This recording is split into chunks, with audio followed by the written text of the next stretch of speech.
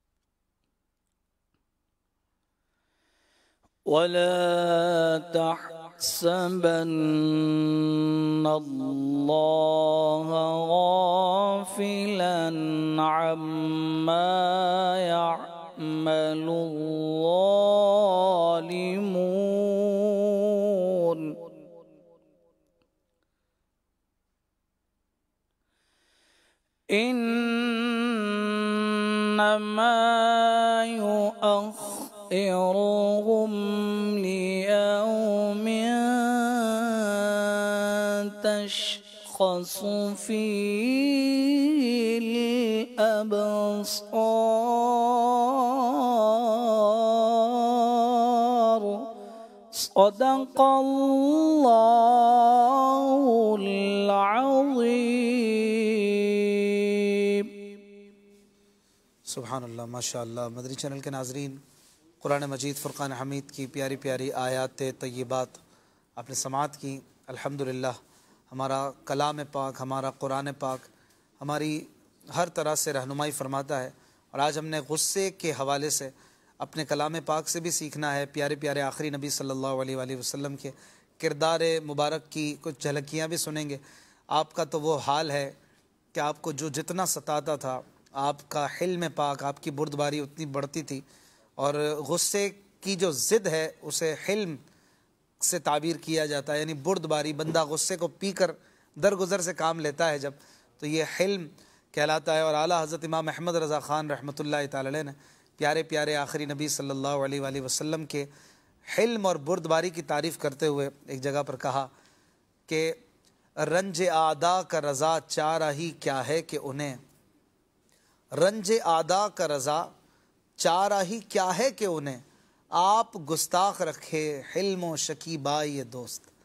तो प्यारे नबी सल्लल्लाहु अलैहि वसल्लम का हिल्म और आपकी शिकेबाई यानी सामने वाले से इंतकाम ना लेना और हिल्म यानी दरगुजर करना, इस सिफत से सामने वाला जितना आपको सताता था दुश्मन रसूल, वो उतना और गैज़ में और भड़कता था कि प्यारे नबी सल्लल्लाहु अलैहि वसल्लम को या जिसको भी कोई नुकसान पहुंचाना चाहता है तो चाहता है वो कुछ रिएक्शन दे।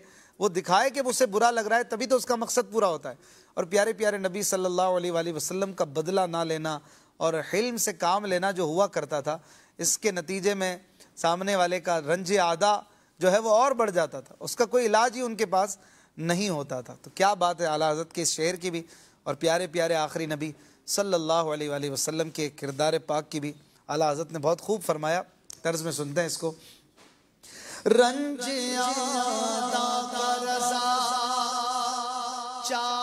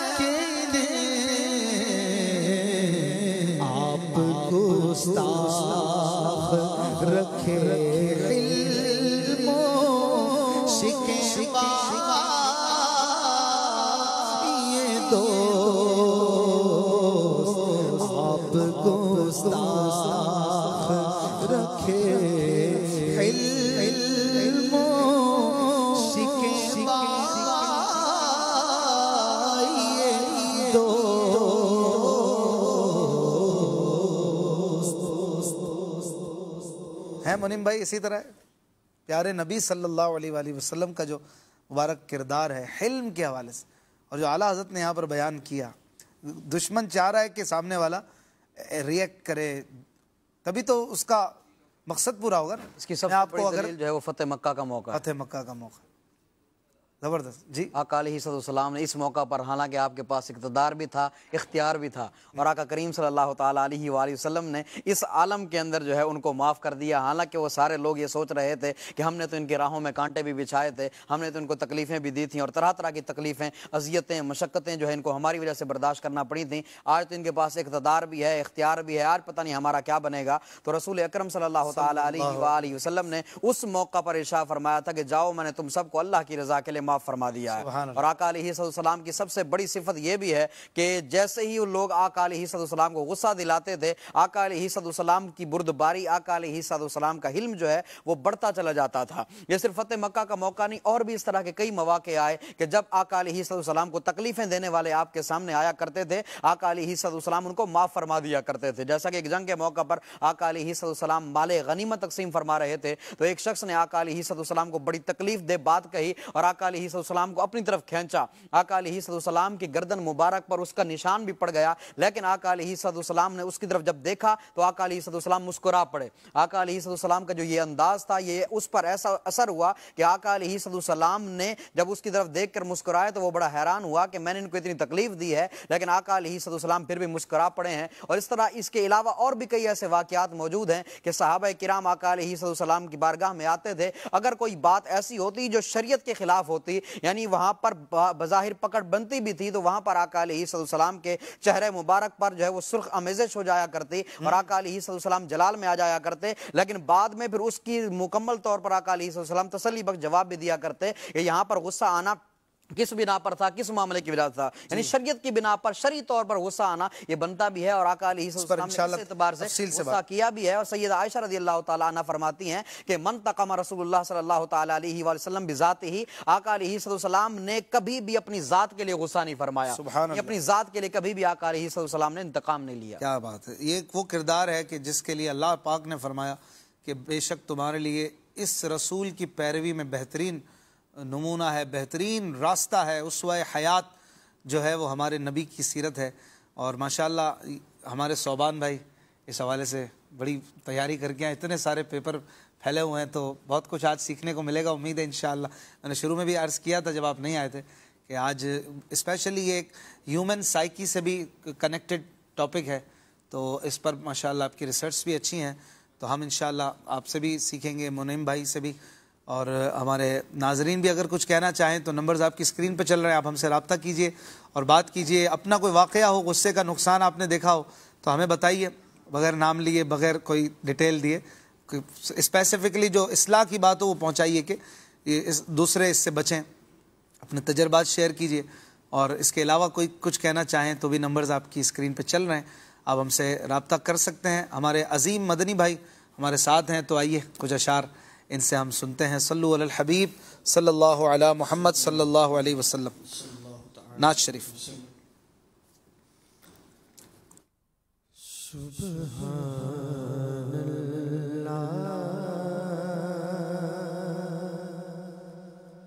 जिसक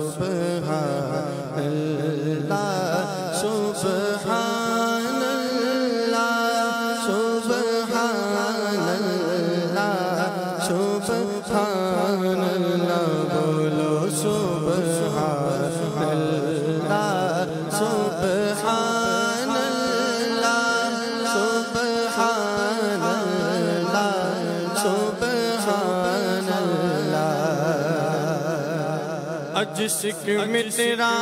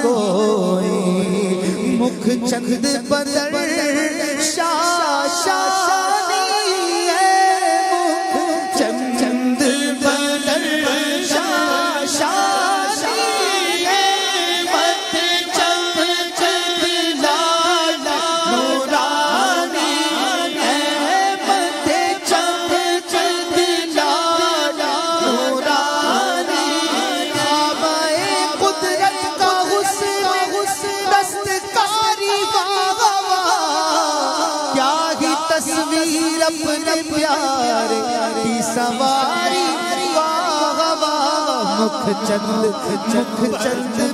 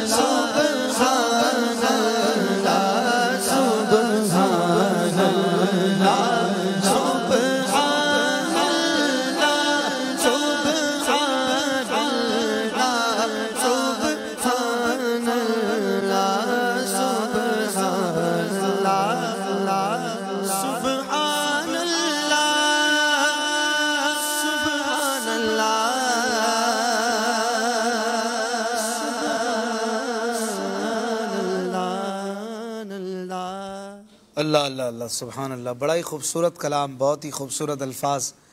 पीर महर अली शाह साहब रहमतुल्लाह अलैह के हम सुन रहे थे। सोबान भाई ये क्या मतलब है कुछ इसका?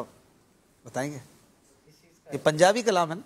ये सराय की है। पंजाबी पंजाबी है ना भाई? पंजाबी कलाम। पंजाब। आप पंजाबी है ना? हाँ जी पंजाब में रहता हूँ। नहीं मतलब आपकी बोली पंजाबी नहीं? नहीं बोली पंजाबी नहीं है। अच्छा सोबान भाई का माइक नहीं लगा हुआ है आप वैसे ही बातें माशाल्लाह। ना, नाज़रीन किराम बड़ा ही खूबसूरत कलाम है आकाए दो जहाँ सल्लल्लाहु अलैहि वसल्लम के मुबारक हुस्न व जमाल के हवाले से बंदा इसमें खो जाता है। और पंजाबी ज़बान में है तो कुछ इसका खुलासा भी बताएँ क्या है इसमें मतलब क्या है? अगर आप पंजाबी बोली है तो आपकी हाँ वैसे मुझसे ज़्यादा तो शायद मुनिम भाई की पंजाबी बोली है। मुनिम भाई की पंजाबी है सराय की है? मैं सरायकी हूँ। सरायकी अच्छा, सरायकी ਅੱਛਾ ਸਰਾਈ ਕੀ ਅੱਜ ਸਿੱਖ ਜੋ ਹੈ ਅੱਜ ਸਿੱਖ ਮਿੱਤਰਾਂ ਦੀ ये तो मतलब मित्र कहते हैं दोस्त को और यार को बोला जाता है। सिख तड़प वधेरी मतलब ज़्यादा। बड़ी हुई। आज बड़ी हुई कि आज जो है दोस्त की तड़प बहुत ज़्यादा है। क्यों? दिलड़ी उदास घनेरी है। घनेरी मीन्स के बादल आए हुए हैं और आँसू इससे ये दिल के अंदर काफ़ी ज़्यादा कसक है तड़प है। तो क्यों नैना लाया लाइया आज चढ़िया? नैना मीन्स आँखें। चढ़िया मीन्स फॉर एग्जांपल आँसू होंगे। कि आंसुओं की जड़ी लगी हुई है। तो बहरहाल बुजुर्गान दीन की शायरी का तो उनका जो मतलब वो लेना चाह रहे हैं शायद हम वो खज ना कर सके उर्दू में ट्रांसलेट ही कर सकते हैं। सही। तो माशाल्लाह मुख चंद बदर शाशानी है। शाशानी मीन्स शाशानी। स्पार्कल नहीं होता? चमकदार। चमकदार। तो मुख चंद बदन चंद मीन्स चाँद के उनका मुख मुख माने चेहरा। चेहरा चाँद जैसा चेहरा है और चमक उसकी तो प्यारे आका सल्लल्लाहु ताला अलैहि वसल्लम तो जब मुस्कुराते थे तो दीवारों में अक्स नज़र आता था। और कितना ही खूबसूरत चेहरा था और क्या शान है साहबा की जो उस चमकते हुए चेहरे की ज्यारत किया करते थे। पता नहीं किस लय में और किस मूड में लिखा होगा उन्होंने शायद ज्यारत कर रहे हो क्या उनका हो। कहने वाले कहते हैं कि आपने मदीने के सफ़र के दौरान एक मकाम पर स्टे किया था तो वहाँ पर गालिबा मकाम हमरा। या इस तरह का कोई मकाम है। उस जगह पे इस मकाम का ज़िक्र किया इस इस कलाम में पीर मेहर अली शाह अच्छा, अंदर किया ज़िक्र। इसी में एक शहर में किया है और वहाँ पर आपने ज़ियारत से मुशरफ हुए थे। अल्लाह प्यारे नबी सल्लल्लाहु अलैहि वसल्लम की या ये कलाम लिखा और फिर ज़ियारत मिली थी इस तरह से कुछ बताया जाता है। तो बड़ा ही खूबसूरत अंदाज है प्यारे नबी सल्लल्लाहु अलैहि वसल्लम के दीवानों के लिए तो उनकी याद उनकी बात उनके नज़ारे ये बड़े ही रूह अफ़ज़ा होते हैं इनकी इश्क को बढ़ा देते हैं। आपने फरमाया ना जिस तरह जो सरदार मुफ्ती सरदार साहब थे जो फैसलाबाद में जिनकी नस्बत से हम सरदाराबाद भी कहते थे फैसलाबाद को उनके बारे में मैंने पढ़ा था कि जब वो हदीस करीमा का कलाम फरमाया करते थे तो मतलब उनकी कैफियत ऐसे होती थी जैसे डायरेक्ट सरकार से सुनकर आगे बयान फरमा रहे हैं। और जिस वक्त वो मतलब अगर ऐसी कोई हदीस होती थी जिसके अंदर कोई वईद हो या वो हो तो रोते रोते हिचकी बन जाती बहुत ज़्यादा आँसू आते और जिसमें कोई ऐसी बिशारत होती तो बहुत ज़्यादा वो खुश हो जाते। तो अपने ऊपर तारी कर लेना उस चीज़ को इंटरनलाइज कर लेना ये बड़ी एक कैफियत होती है। अगर वो उस्ताद भी ऐसा हो ना जो कि उस्ताद पढ़ाते हुए उस चीज़ को इंटरनलाइज कर ले जिस तरह एक आर्टिकल में हमने पढ़ा कि उस्ताद साहब हमारे वो बड़े आजजी वाले थे। वो जो काम करते समझा के करते तो बच्चे उनको आजजी के हवाले से कॉपी करते थे। वाह। एक उस्ताद साहब से वो आर्मी से रिटायर थे।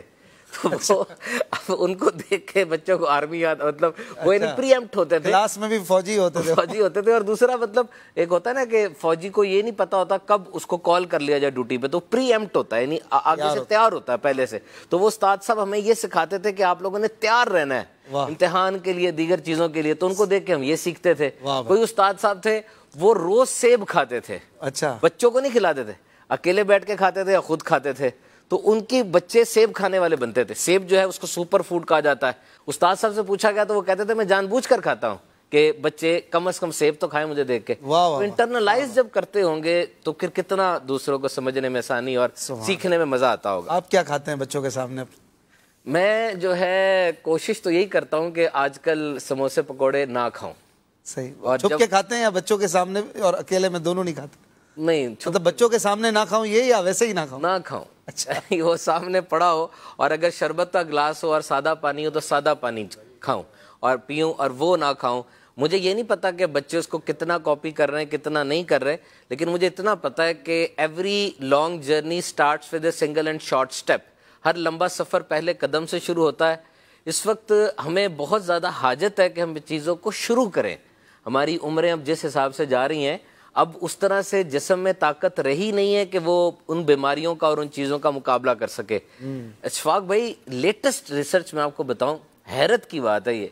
Sugar is more addictive than drugs जो चीनी है ना ये कई दवाइयों से कई चीज़ों से ज़्यादा नशे वाली चीज़ है। अगर आप दिमाग की बात करें जब इंसान चीनी या चीनी वाली चीज़ों को देखता है उसके दिमाग में वही जगह रोशन होती हैं जो जगह एक नशे वाले को नशा दे के रोशन होती है। मैं नशा नहीं कह रहा उसको लेकिन साइंस कह रही है। एडिक्शन है। कनेक्शन है। और अब नोट करें जब शरबत या अच्छी चीज़ सामने आती है कैसे इंसान की लपक सी नहीं होती उसमें? ललचाता है। और दिल ललचाता है। अब हमें चीनी की ज़रूरत नहीं है। एक इंसान को दिन में आठ से नौ चम्मच चीनी चाहिए टेबल स्पून जो पहले उसके खाने में मौजूद है। मैं तो नहीं खाता आठ नौ चम्मच चीनी। पहले चीनी उसके खाने में मौजूद है। अच्छा वैसे ही आ जाती है। आ जाती अलग से लेके तो नहीं खानी नहीं खानी। और ऊपर से डालनी भी नहीं है। अच्छा, जब हम ये शरबत और ये दीगर चीज़ें खाती हैं ये फैट्स की सूरत में कम्युलेट होते हैं और आहिस्ता आहिस्ता फिर ये चीज़ें जो है ना हाँ, सामने आती हैं सही फरमा रहे वैसे अगर मीठा ना मिले खाने के बाद तो कभी कभी तलब होती है। तलब होती है। ये तलब बताती है कि यार किसी चीज़ का वो जरा गहरा रिश्ता बन गया। सामने सामने आ जाए तो चॉइस में वो उसकी तरफ़ हाथ बढ़ता है। हम्म। चॉइस में हाथ बढ़ता है उसकी तरफ़ ना। डेफिनेटली माशाल्लाह आपके साथ ये बातें भी सीखने को मिलती हैं और आज स्पेशली हमारा मौजू गुस्से का नुकसान है और एक बहुत ही मीठे और प्यारे इस्लामी भाई बात भी बड़ी खूबसूरत फरमाते हैं। अंदाज भी इतना प्यारा है कि बच्चों के मदनी चैनल के हेड्स में से हैं बहुत अहम डिपार्टमेंट को माशाल्लाह लीड कर रहे हैं हमारे मदनी चैनल के भी बड़े खूबसूरत मुबल्लिग हैं हमारे सीनियर ज़िम्मेदारान और इकराम में से। माशाल्लाह जनाब मौलाना यूसुफ मदनी साहब को आप वेलकम करते हैं। हमारे प्रोग्राम में भी शामिल हैं और किड्स मदनी चैनल को माशाल्लाह शरई हवाले से भी स्पेशली आप भी देखते हैं और उसमें कई स्क्रिप्ट्स में कई चीज़ों में आपका जो एक अहम तरीन किरदार होता है बल्कि स्क्रीन पर भी कई शॉर्ट्स में कई प्रोग्राम्स में भी आपका अपीयरेंस होती है और आपके शहजादे भी दोनों ने, जैसे किड्स मदनी चैनल को इन्होंने ओढ़ा हुआ है, शहजाद खान भी, कोई माशाल्लाह नात खां भी बड़ा लाजवाब है और मुबलिक भी बहुत खूबसूरत हैं, बड़े वाले भी और छोटे वाले शहजादे भी आजकल तो वो ज़्यादा छाए हुए हैं और पढ़ते भी हैं। नज़र है माशाल्लाह। हाँ हम देखते हैं बच्चों वाले तो मदनी चैनल ना देखें। किड्स मदनी चैनल तो ये अब उनको दिखाने के लिए खुद भी तो देखना पड़ेगा ना। जिनका चैनल है उन्होंने ज़िम्मेदारी दी हुई है तो अल्हम्दुलिल्लाह आप ज़िम्मेदारी पूरी अल्हम्दुलिल्लाह अल्लाह आपको बरकत दे बहुत वीआईपी अंदाज में जिस तरह से पोएम्स हैं जिस तरह से कॉन्टेंट आप लोग चला रहे हैं ना। मतलब एक वाकई लाजवाब काम है। इस दौर में और शरीयत के मुताबिक बगैर म्यूज़िक के बगैर किसी इस तरह की चीज़ों के नाच कूद के आप जो इंटरटेन भी कर रहे हैं बच्चों को और सिखा भी रहे हैं it's a very difficult job plus माशाल्लाह बहुत मुबारकबाद के साथ। शौक भाई शरीर लिहाज से भी इसको देखें तो कोशिश हमारी यही होती है कि शरीर लिहाज से इसको शरी अगलात से पाक रखा जाए गलतियों से पाक रखने की कोशिश की जाए।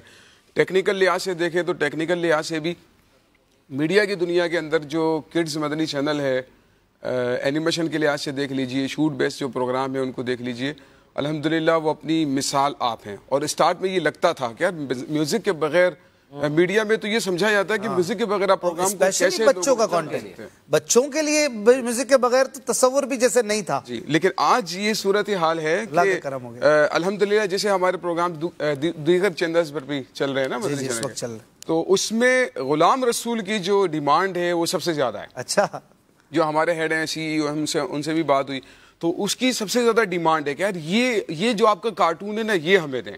क्योंकि ये आपका बहुत ज़्यादा लाइक किया जा रहा है बहुत ज़्यादा दुनिया में देखा जा रहा है तो इसलिए हमें हमें आपका ना ये वाला कार्टून चाहिए अगर आप ये देते हैं तो ये देते तो तकरीबन मीडिया वाले जो चैनल्स हैं वो इसकी आपके लीजिए कि डिमांड कर माशाल्लाह दिया भी है रमज़ान में चला भी रहे उसमें जो नसीहतों का अंदाज है ना उसमें जो मैसेज होते हैं बड़ा ज़बरदस्त तरीके से उसको पूरी जो है उसका एक बैकग्राउंड बनाकर पस मंजर उसका बनाकर फिर जो मैसेज दिया जाता है वो बहुत ज़बरदस्त होता है। यहाँ पे मैं यूसुफ भाई से ये मतलब एक बात शेयर करूँगा माशाल्लाह वाकई रिमार्केबल परफॉर्मेंस है इनकी अपनी भी कि हमारे जो है ना शरीयत का मिजाज भी मुतबादल देने का भी है साथ। मिसाल के तौर पे निकाह है जिना है तो यानी अगर वो चीज़ से रोका जा रहा है तो फिर निकाह की ऑप्शन दी जा रही है। सूद है साथ तजारत का बताया जा रहा है।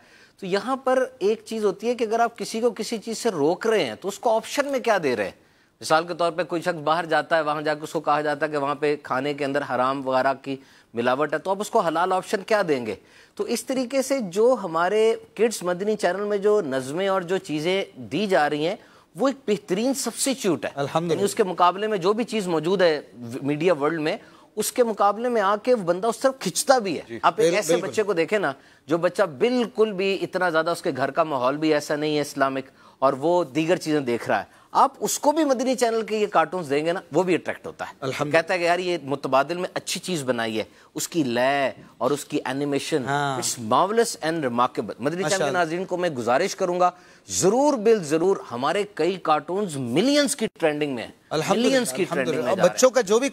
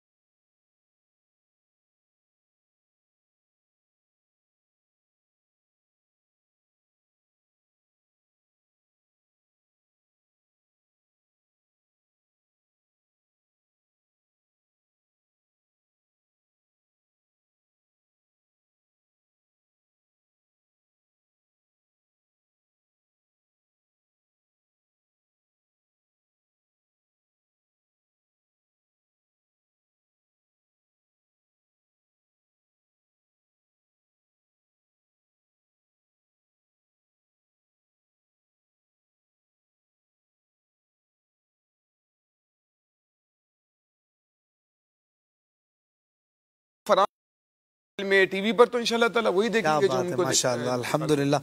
और इसके साथ साथ जो है वो आपका वो जो एक प्रोमो था आइए नमाज़ सीखें। एग्जैक्टली वही है? जी जी। वो बड़ा खूबसूरत है वो मैंने देखा मुझे असलम भाई ने दिखाया था वो तो स्पेशली अपने ही मोबाइल में कि आप ये देखें क्या काम किया है। मैं हैरान था यार ये मतलब बहुत ओवर एक्स्ट्रा प्रोफेशनल काम और बहुत ज़बरदस्त। अच्छा, वैसे माशाल्लाह प्रोफेशनल है सारा लेकिन उसमें बड़ी मेहनत नज़र आई मुझे मैंने कहा कितने दिन में बनाए कहा एक दिन में। एक ही दिन में बने? लेकिन तीन दिन लगे थे। तीन दिन? हाँ बोला दो तीन दिन में मेरे को लगा कुछ हफ़्ते लगे होंगे। ये मुख्तलिफ़ शूट्स और आप कश्ती में भी बैठे हैं तो चल भी रहे हैं। तो मैंने कहा ये कहाँ ढूंढा है ये सब माहौल?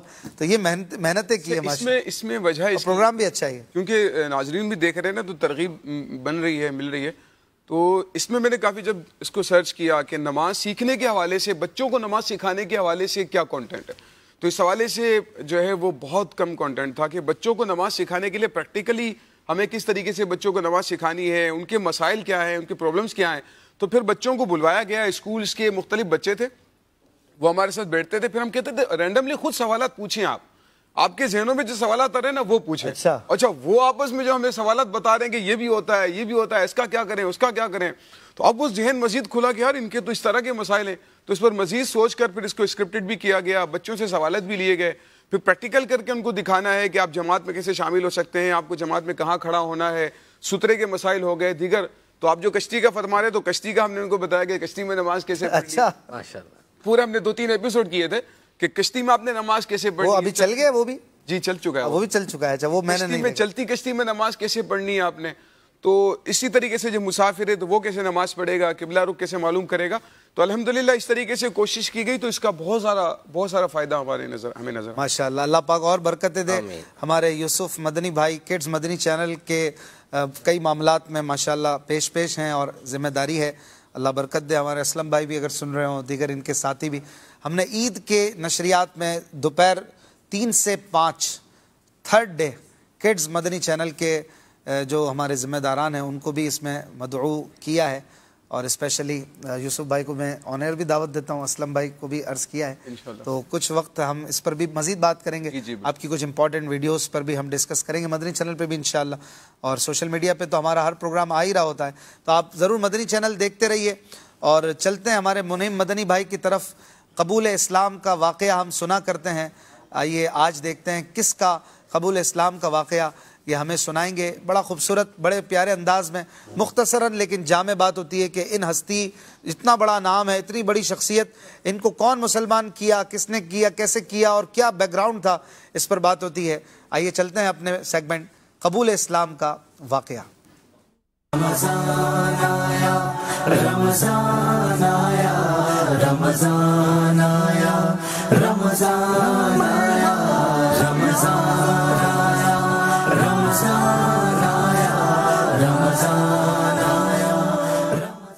बसमीम आज हम सहाबी रसूल हज़रत सैदना खब्बाब बिन अल अरत रदी अल्लाह तु इनके कबूल इस्लाम के हवाले से सुनेंगे। आप रदी अल्लाह तु वो अजीम सहाबी हैं, जिन्होंने नबी पाक सल्लल्लाहु अलैहि वसल्लम का बड़ा कुर्ब पाया है। और आका सलाम ने इनसे बड़ा प्यार किया है और बड़ा मोहब्बत का इजहार भी फरमाया है। ये वो सहाबी रसूल हैं जो छठे नंबर पर ईमान ले आए थे। असाबिकून अव्वलून की फहरिस्त में ये भी शामिल हैं और इसी तरह आपको सादिसुल इस्लाम भी कहा जाता है। यानी इस्लाम लाने वालों में से छठा नंबर जिनका था, आप रदी अल्लाह तु का नाम इस तरह भी याद किया जाता है।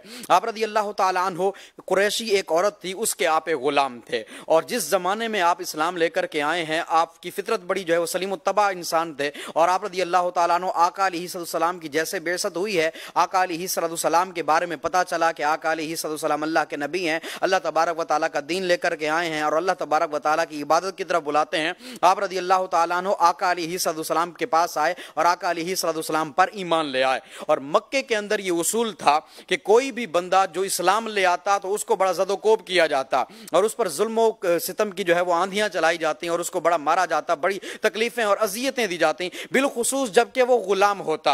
यानी एक तो बंदा है आज़ाद, वो ईमान ले आया है, ये अलग बात है। लेकिन है भी गुलाम और वो इस्लाम ले आया है तो ताजीरात मक्का के तहत उसको बड़ी तकलीफें दी जाती हैं। उसका साहब मालो जर भी छीन लिया जाता, उसको घर से बेघर कर दिया जाता और बड़ी तकलीफों से उसको दो चार किया जाता था। और बिलखसूस उस वक्त जब वो हो भी गुलाम और गुलाम होने के साथ साथ वो बबांगे दोहल अपने ईमान का, अपने इस्लाम का इजहार भी कर रहा हो कि मैं मुसलमान हो गया हूँ, मैं इस्लाम ले आया हूँ तो उसको बड़ी तकलीफें दी जाती थी। आप रदी अल्लाह तु जिस औरत के गुलाम थे, उस औरत ने आपको एक दुकान पर बिठाया हुआ था कि आप वहाँ पर कोई कसब वगैरह करें माल वगैरह कमाएँ और मुझे उसकी रकम अदा करें। वो औरत आप पर बड़े जुल्म सितम किया करती थी और बिलखसूस जब आप ईमान ले आए तो वहाँ के जो बड़े बड़े कुफार कुरैश थे, उनको आप पर बड़ा गुस्सा आया, वो जलाल में आए और आप पर जो है वो बड़ी तकलीफें आपको देने लगे और आपको बड़ी अजियतें देने लगे और वो औरत जो आपकी मालकिन थी, उसने भी उनके हवाले कर दिया कि जो चाहो इसके साथ करो। हत्या के आप रदी अल्लाह तु को जलते हुए कोयलों पर लिटा दिया जाता था, अंगारों पर लिटा दिया जाता था और आपके जिसम से जो है वो चर्बी पिघला करती थी, जिसकी वजह से वो कोयले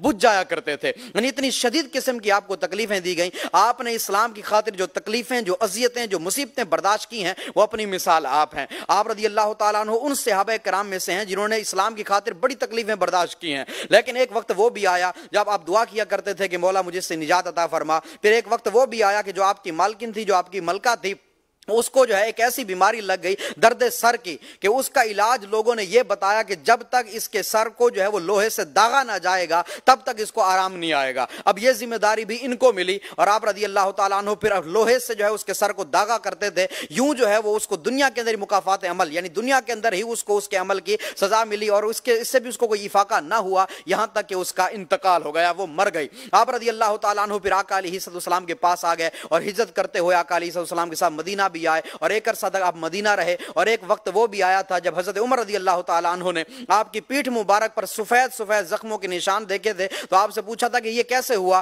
तो आप रदी अल्लाह तु ने कहा था, ए उमर, ये उस वक्त की बात है जब आप नंगी तलवार लेकर मक्के में घूमा करते थे। उस वक्त की बात है जब मुझे तकलीफों से दो चार किया गया था और ये बड़े बड़े कुफार मुझे जो है वो अरब की जो है वो बड़ी धूप वाली ज़मीन पर मुझे लिटा दिया करते और नीचे आग जला दिया करते और मुझे उसके ऊपर लिटा देते थे। मेरे सीने पर भारी पत्थर रख दिया जाता और उसको मेरे सीने सीने पर मसला जाता था। हती कि मेरे जिस्म से निकलने वाला जो मवाद होता था, जो पीप वगैरह होती थी, उस चर्बी की वजह से जो है वो सारे कोयले बुझ जाया करते थे और उस वजह से मेरे जिस्म पर आज भी ये निशान मौजूद है। हज़रत उमर रदी अल्लाह तु ये सुनकर आप दिदा हो गए, आपकी आँखों में आँसू आ गए और आप रदी अल्लाह तु ये दुआ किया करते थे कि अल्लाह तबारक बतार ने आपको कैसा मकाम अता फरमाया कि इस्लाम की खातिर जो है आपने इतनी तकलीफें बर्दाश्त की हैं। और हज़रत खब्बाब रदी अल्लाह तु सैंतीस हजरी के अंदर आप कोफा के अंदर रहे, वहाँ पर आप बीमार हो गए थे, वहीं पर आपका इंतकाल हुआ। हज़रत अली मुर्तज़ा रदी अल्लाह तु ने आपका जनाजा पढ़ाया। अल्लाह करीम हम सब के दिलों को साहब कराम की मोहब्बत से आबाद फरमाए। आमीन आमीन। क्या खूबसूरत हस्ती का ज़िक्र हुआ है। सुबहान अल्लाह मुनीम भाई। Medina Medina. हज़रत खब्बाब बिन अर्थ। अल्लाह करीम इनके मज़ार पुरनवार पर करोड़ रहमत बरसाए। हमारे बड़े ज़बरदस्त कैमरा मैन मोहम्मद शान अत्तारी भाई की कई दिनों से फरमाइश है, महमूद भाई, आज पूरी कर दें यार। चंद अशार हमें सुनाए और शायद लाखों नाजरीन भी इसको पसंद करें और मेरी भी फरमाइश मेरी अर्ज़ समझ लें फरमाइश नहीं है फरमाइश बड़ों की होती है। जी मेरी अर्ज़ है सरवर कहूँ कि मालिक को मौला कहूँ तुझे। बड़ा खूबसूरत कलाम आपने मदनी मुजाकरे में भी पढ़ा है पिछले दिनों है ना? और हमें यहाँ भी सुना दें। शान भाई के लिए स्पेशल हमारे कैमरा मैन जी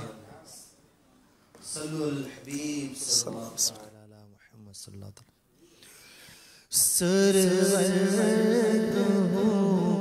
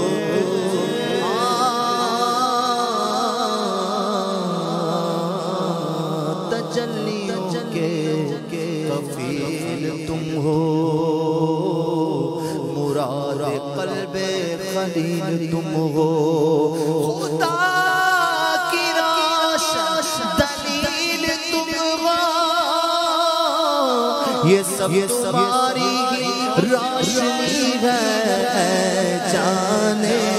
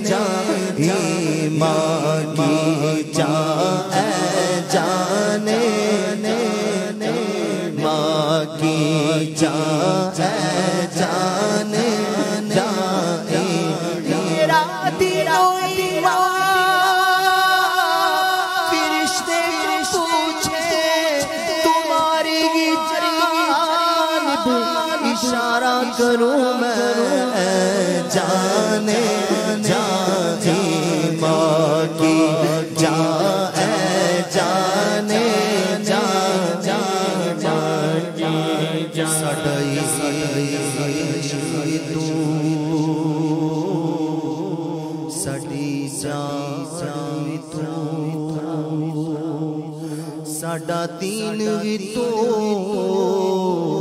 ते ईमान भी तू साडा इश्क भी तू साडी जान भी तू साडा दीन भी तू ते ईमान भी तू। मैं मुकदी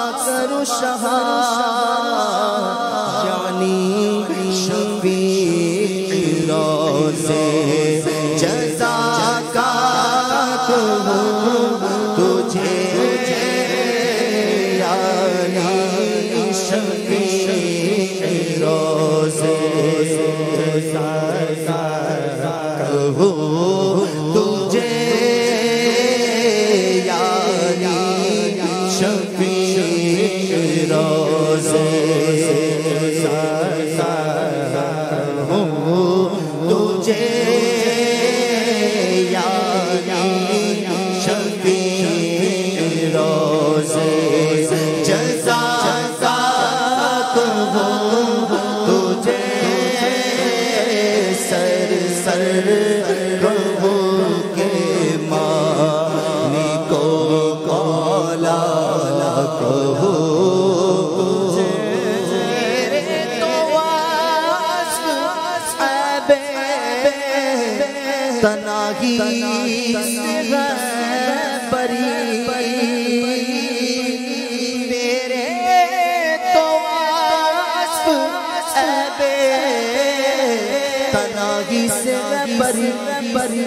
हैरान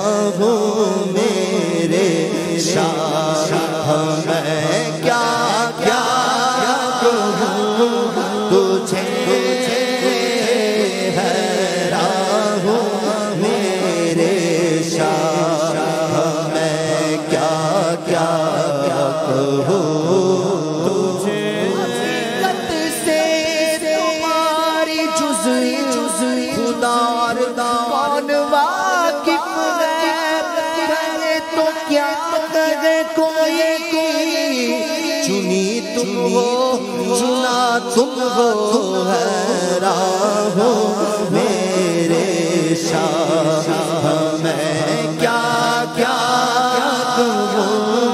तुझे हैरान हो मेरे शाह मैं क्या क्या क्या कहूँ खत्म हुई हुई और कलम टूट। तेरे औसाफ का बाब भी पुराना हुआ। दिलदार बड़े आए, महबूब बड़े देखे, जो देखे सभी इनके कदमों में पड़े देखे। महबूब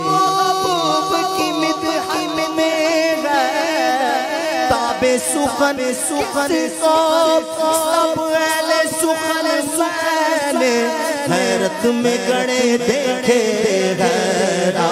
वो मेरे शाह। मैं क्या क्या क्या कहूँ? जमीनो जमीनो, तुम्हारे लिए मकियो मक्का तुम्हारे लिए चुनी दो चुना, तुम्हारे लिए बने दो तुम्हारे लिए रहने जबा तुम्हारे लिए बदन में गजा, तुम्हारे लिए हमारे यावा तुम्हारे लिए उठे भी वहाँ, तुम्हारे लिए तुम्हारी चमक, तुम्हारी दमक तुम्हारी झलक तुम्हारी महक, जमीनो फलक समक समक सिक्का निशान तुम्हारे लिए खलीलो नजी, हसी हो सफी, सभी से कही, कहीं भी बनी के बेखबरी, के खल्क फिरी, कहाँ से कहाँ से तुम्हारे लिए इशारे से चीर दिया फेर लिया। दिन को असर किया। ये ताबो तवा तुम्हारे लिए।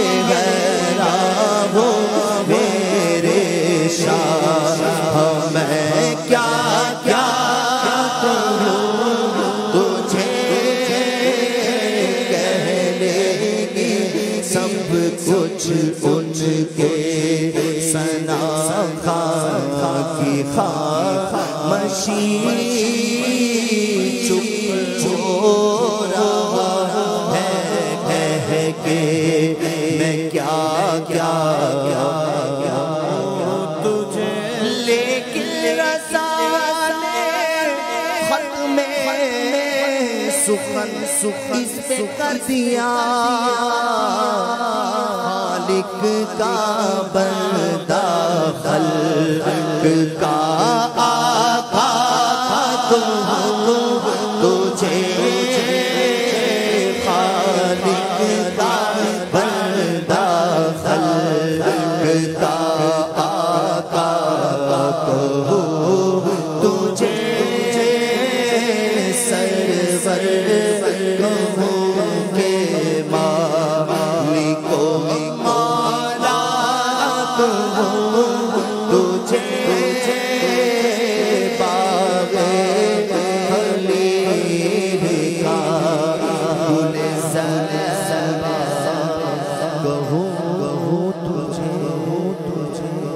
माशाल्लाह माशाल्लाह। क्या बात है ज़बरदस्त।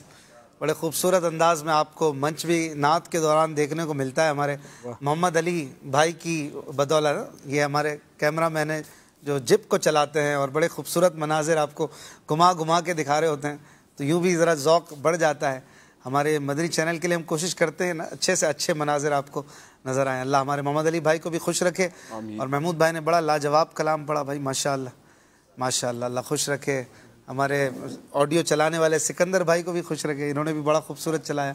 महमूद भाई ने जो है आज असर के बाद मुनाजात भी पढ़ी होगी फिर प्रोग्राम में भी अतर भाई के साथ शिरकत की है और फिर मदरी मुजाकरे में भी शरीक रहे और इसके बाद एक कलाम अभी रिकॉर्ड करवाया स्टूडियो में और अब यहाँ पर आए हैं। तो ये चल ही रहे हैं माशाल्लाह। अल्लाह नज़र बद से बचाए एक खूबसूरत कलाम महमूद भाई की आवाज़ में मदरी चैनल पर और यूट्यूब पर नात प्रोडक्शन चैनल पे भी अनकरीब इन अलवदा माह रमज़ान के हवाले से।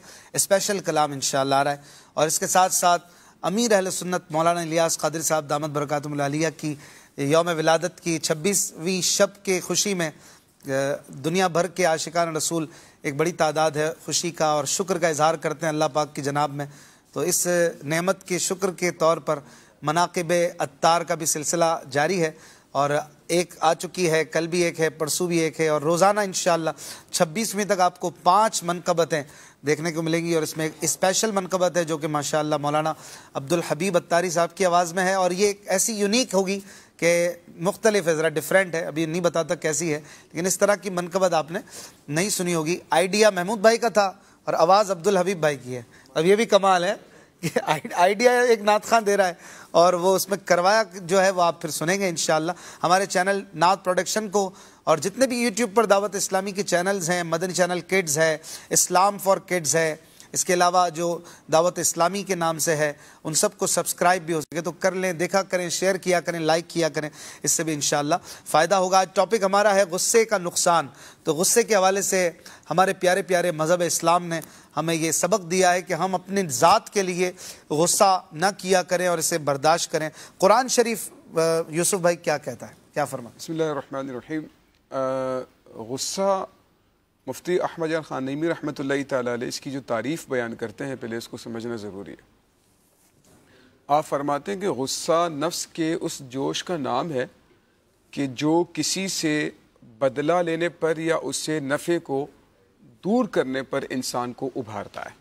ये उस कैफियत का नाम है। अच्छा। और नफ़े को दूर करना मतलब? हाँ यानी किसी शख्स को कोई नफ, या तो नुकसान पहुंचाना बदला लेना अच्छा अच्छा। या फिर उससे कोई नफा पहुँचने वाला था और आपने उसे नफा पहुँचने नहीं दिया। जिस आदमी को गुस्सा आ रहा है जो गुस्सीला शख्स है तो उस गुस्से की के नतीजे में आम तौर पर यह सूरत हाल होती है कि वो जो है जो शख्स गुस्से में है वो दूसरे को कोई नफा या फ़ायदा पहुँचने नहीं देता है। तो अब अगर हम कुरान हदीस का मुताला करते हैं तो बहुत ही तफसील के साथ बहुत बेहतरीन अंदाज पर हमें समझाया गया है कि गुस्सा नहीं करना है। अब ये तो हर शख्स आम तौर पर रियलाइज़ करता है कि गुस्सा नहीं करना चाहिए गुस्सा बुरी बात है। लेकिन ज़िंदगी के बाज़ मौाक़े पर वो खुद गुस्से में नज़र आता है। कुछ लोग ज़्यादा गुस्सा करते हुए नज़र आते हैं कुछ लोग कम गुस्सा करते हुए नज़र आते तो असल चीज़ है कि गुस्से के इसबाब को देखा जाए। हम्म। गुस्से की वजूहत क्या है? गुस्से के नुकसान क्या हैं? और उसका इलाज क्या है? सही। बुनियादी तौर पर इन तीन चीज़ों को अगर हम गौर कर लें इस पर अमल करें इसको पेशा नज़र रखें। इमाम गजाली रहमत ने बहुत तफसीली कलाम बिल्कुल बिल्कुल। के अंदर जो है गुस्से के हवाले से फरमाया। कुरानी की तीसरी जिल्द में? जी। मोहलिकात के मोहलिकात का जो बयान है। कुरान करीम की आयात अहादीस करीमा एक बहुत ज़बरदस्त आपने बात लिखी इहियालूम इमाम गज़ाली रहमत आप फरमाते हैं हज़रत जुल्करनैन जो कि हज़रत खजर सलाम के खालाजत भाई। कुरान करीम में इनका ज़िक्र बड़ी तफसील के साथ अल्लाह पाक ने याजूज माजूज वाला इनका वाक़ ज़िक्र फरमाया। तो याजूज माजूज के लिए जो दीवार बनाई गई थी, वो इन्होंने बनाई थी। पूरी दुनिया पर अल्लाह पाक ने इनको हुकूमत अता फरमाई, हज़रत रदी अल्लाह तो एक बार इनकी एक फरिश्ते से मुलाकात हो गई। फरिश्ते से फरमाने लगे कि तुम्हें अल्लाह पाक ने जो मलकूती इल्म दिया है तो मुझे भी बताओ कि वो मलकूती इल्म कोई ऐसी बात बताओ कि मेरे इल्म में इजाफा हो। अच्छा गुस्से के बारे में जो गुफ्तगु की गई है ना, इतनी ज़बरदस्त है, तीन से चार बातें उसने बताई लेकिन इतनी इतनी ज़बरदस्त है कि उसको अगर हम समझ लें और उसको काबिल अमल अपने लिए बना लें तो इसकी बरकत हम अपनी ज़िंदगी में ज़ाहिर होता देख लेंगे। आपने फरमाया कि तुम्हें जो मलकूती इल्म अल्लाह पाक ने ता फरमाया है तो इसकी कोई बात मुझे ऐसी बताओ कि जिसकी वजह से मेरे भी इल्म में इजाफा हो। उस फरिश्ते ने कहा कि ला तकदम सबसे पहली बात, क्योंकि गुस्सा ना करें, क्योंकि इसका एक राज है। वो राज ये है कि गुस्सा करने वाला जो शख्स होता है, उस पर शैतान जल्द काबू कर लेता है। और काबू करने के बाद वो वो वो गुनाह करवाने में कामयाब हो जाता है, जो आम तौर पर गुस्सा ना होने की हालत में इंसान नहीं कर सकता। पहली बात कही, फिर उस फरिश्ते ने कहा, दूसरी बात यह कि अगर आपको गुस्सा, पहले तो फरमाया, ला तकदम गुस्सा नहीं करना। अगर गुस्सा आ जाए तो अब क्या करना है? वो फरिश्ता कहता है कि उस गुस्से को बाहर निकालने की बजाय उस गुस्से को आपने अंदर मूव करना है। अच्छा। यानी उसको आप पी लें। यानी हालत किज्म काजिमीन अलगैज है ना कुरान करीम में अल्लाह पाक ने फरमाया गुस्से को पीने वाले। तो उस गुस्से को पीना है। उस गुस्से को अंदर लेके जाएँ पहली बात ये।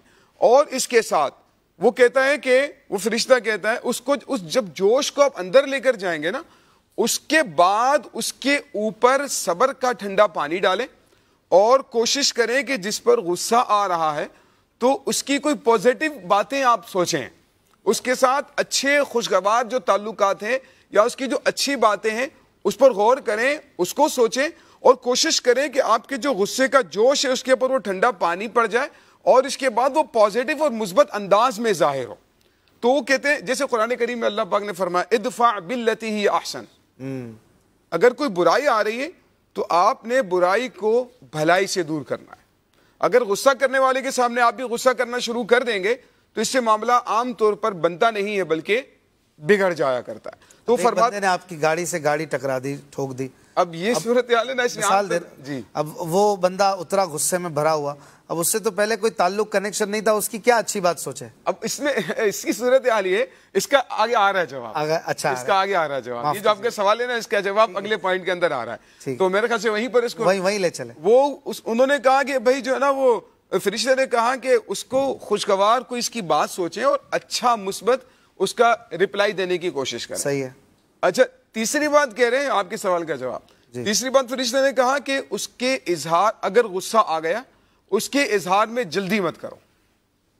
यानी उसका इजहार फ़ौरन मत करो, बल्कि रुक जाओ, अपने आप को रोक लो। सबर इसी चीज़ का नाम है, क्योंकि गुस्से के नुकसान में से एक नुकसान ये भी बयान किया है सूफिया कराम ने कि ये इंसान की जो सबर का मादा होता है, उसको ख़त्म कर देता है। गुस्से की जो आदत होती है ना वो सबर की आदत को ख़त्म कर देती है, इंसान के अंदर सबर ख़त्म हो जाता है। अगर गुस्से को इंसान जारी रखे, गुस्से की अलामत को ख़त्म ना करे, गुस्से को कंट्रोल करना ना सीखे तो इसका नुकसान ये हुआ करता है। तो उस फरिश्ते ने कहा कि, इजहार, गुस्से का इजहार मत करो, फ़ौरन। अब वो जैसे गाड़ी से गाड़ी टकरा गई ना तो होता ये कि एक अगर कोई लफ्ज बोलता है तो सामने वाला उसी तरह से उसके गुस्से का इजहार जब सामने वाला भी गुस्से का इजहार करता है तो फिर वो बात बढ़ते बढ़ते दोनों गाड़ी से उतरते हैं। फिर दस्तों करें बा फिर पता नहीं क्या क्या क्या। लेकिन ये देखा है कि अगर आपकी गाड़ी से किसी की गाड़ी के टक्कर हो गई आप अगर उसको मुस्कुरा कर माजरत बोल दें सॉरी बोल दें यार गलती हो गई। फ़ौरन अगर ये कह देते हैं ना तो आमतौर पर ये देखा है कि सामने वाला चले वो अगर आपके सामने मुस्कुराएगा नहीं भी लेकिन कम से कम वो गुस्से की कैफियत से आमतौर पर जो है वो इजहार ज़्यादा नहीं करता है। लेकिन आपको पहल करनी पड़ती है। अगर आप गुस्से का इजहार कर देते हैं उसके सामने तो वही वाली बात है कि आप दो बोलेंगे तो सामने वाला फिर चार बातें सुनाएगा। फिर शैतान बीच में कूद जाता है। हाँ। और इसके तहत उलमा कराम ने लिखा है कि शैतान कहता है कि जब इंसान गुस्से की हालत में होता है वो मेरे हाथ में गेंद की तरह होता है। जैसे बच्चा गेंद से खेलता है जहाँ चाहे फेंके जिस तरह से चाहे खेले तो इसी तरह से मैं इंसान से गुस्से की हालत में खेला करता हूँ। अब वो शैतान के हाथ में जो है बॉल की तरह। बॉल की तरह है जैसे बॉल से इंसान बॉल को। जहाँ चाहते हैं मारते हैं दीवार पे कैच करते हैं कभी ऊपर हवा में उछालते हैं। ऐसे ही जैसे गुस्से वाले को शैतान जिधर चाहता है लेके खेलता फिरता है और फिर घुमाता है और फिर हो सकता है जहन्नम में ही ना फिकवा दे। वो में इमाम गजाली अलैह ने शैतान ही की तीन बातों का आगे ज़िक्र भी फरमाया। अच्छा वो चौथी बात बड़ी ज़बरदस्त कही ना उस फरिश्ते ने।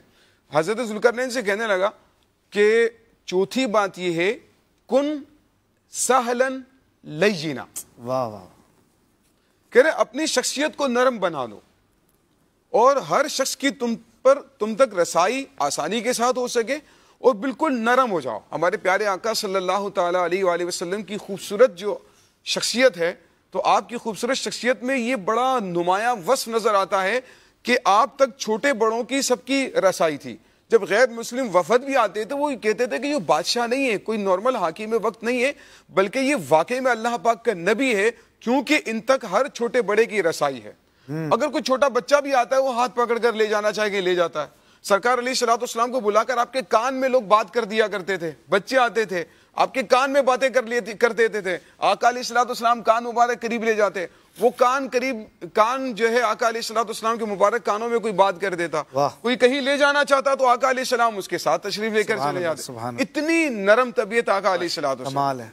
तो फरिश्ता कहने लगा कुन सहलन और लई। लय्यिना यानी अपनी शख्सियत को बिल्कुल आसान कर दीजिए और नरम तबीयत को इख्तियार कर लीजिए। इसको रिपीट कर लेते हैं चार चीज़ों को। पहले कहा ला तगदब गजब ना कर। गुस्सा करना ही। नंबर दो जिस पे गुस्सा है उसकी अच्छी बात को सोचकर गुस्से को दबाने की कोशिश करो और अच्छी बात जब सोचता है बंदा कि यार अगर गलती हो गई तो मुसलमान भाई तो है ना। हम्म। या अगर रिश्तेदार है तो रिश्तेदार भी तो है ना। या मेरा सगा भाई भी तो है ना। या मेरा बेटा भी तो है ना। या दोस्त को याद कर नंबर टू नंबर थ्री। गुस्सा करने में जल्दी ना कर। सोच हाँ गुस्सा गुस्से के इजहार करने करने जल्दी नहीं करेगा तो गुस्से को टाइम देने से भी वो रुक कम हो जाता है। और नंबर चार अपने आप को सहल आसान और नरम कर लोगे नरम कर लो। तो वैसे आपके लिए गुस्सा ना करना भी आसान हो जाएगा। बहुत अच्छी बात और आपने जो हामीम सजदा सूरह सूरत की आयत तिलावत फरमाई इदफा बिल्लती ही आसन बुराई को भलाई से टाल। इसमें अल्लाह पाक ने मजीद फिर आगे इसका नतीजा भी बयान किया। कि अगर ऐसा करेगा तो क्या होगा? फ़ैदल्लदी बई न का वबई नहू अदावतुन। तो वो जिसके और तेरे दरमियान दुश्मनी थी अदावत थी लड़ाई थी ठनी हुई थी क्या हो जाएगा? का अन्नहू वलीयुन हमीम। जैसे गहरा दोस्त। गहरा दोस्त हो जाएगा।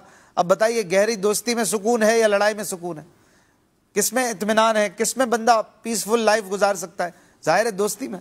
तो अल्लाह पाक चाहता है कि उसका बंदा पीसफुल लाइफ गुजारे और आफियत वाले काम करे। दीन इस्लाम में यही है। तो हमें भी गुस्से से और बुराई को भलाई से टालने से काम लेना चाहिए गुस्से से काम नहीं लेना चाहिए। अल्लाह पाक ने सूरह आल इमरान में भी फरमाया ना? सूरह आल इमरान की बड़ी प्यारी आयत है। कि वल काज़िमीन अल और गुस्से को पीने वाले इन्हें अल्लाह पसंद फरमाता है। वलाफीन अनिन्नास वलाफीन अनिन्नास लोगों को माफ़ करने वाले। लोगों को माफ़ करने दरगुजर करने वाले। सोबान भाई क्या इम्पेक्ट होता है जब बंदा जब बंदे को गुस्सा आता है और जब वो नहीं करता? जैसे हज़रत ने फरमाया कि अंदर ले ले। बाज़ लोग कहते हैं ना गुस्से को अंदर नहीं दबाना चाहिए ये लावा बन के निकलता है। तो क्या ऐसा ही है? उन्होंने ये भी तो फरमाया ना फिर उसके बाद ठंडा पानी भी डालना उसके ऊपर। सबर का पानी भी डालना का पानी भी डालना सही है बाज लोग ये पानी नहीं डालते ना तो कीना बन जाता है। ऐसा ही है ऐसे ही सही फरमाया आपने। वो अंदर जो रहता है वो चीज़ ख़राब हो जाती है बल्कि ये भी याद रखना चाहिए कि अगर किसी जगह पर आपने किसी बात को अनसेटल्ड छोड़ दिया था उसको सेटल नहीं किया किसी के साथ मामला वगैरह ऐसा था तो अब ये ना समझे कि वो अब नहीं है वो चीज़ मज़ीद ख़राब होती जा रही है। हर चीज़ की प्रॉपर स्टार्ट होता है फिर प्रॉपर मिडल होता है और प्रॉपर एंडिंग भी होती है। ये तीनों चीज़ें मुकम्मल होंगी तो प्रोसेस मुकम्मल होता है ना। जिस तरह कोई स्पोर्ट्स वगैरह होती हैं प्रॉपर स्टार्ट है मिडल है और फिर एंडिंग है। तो एंडिंग को भी ज़रूर देखा जाए उस चीज़ को रहने न दिया जाए। सही। एंगर के बारे में जो आपने फरमाया ना इशफाक भाई कि एंगर दर हकीकत जो गुस्सा है ये साइकोलॉजी में और मेडिकल साइंस के अंदर एक नेचुरल पैशन है।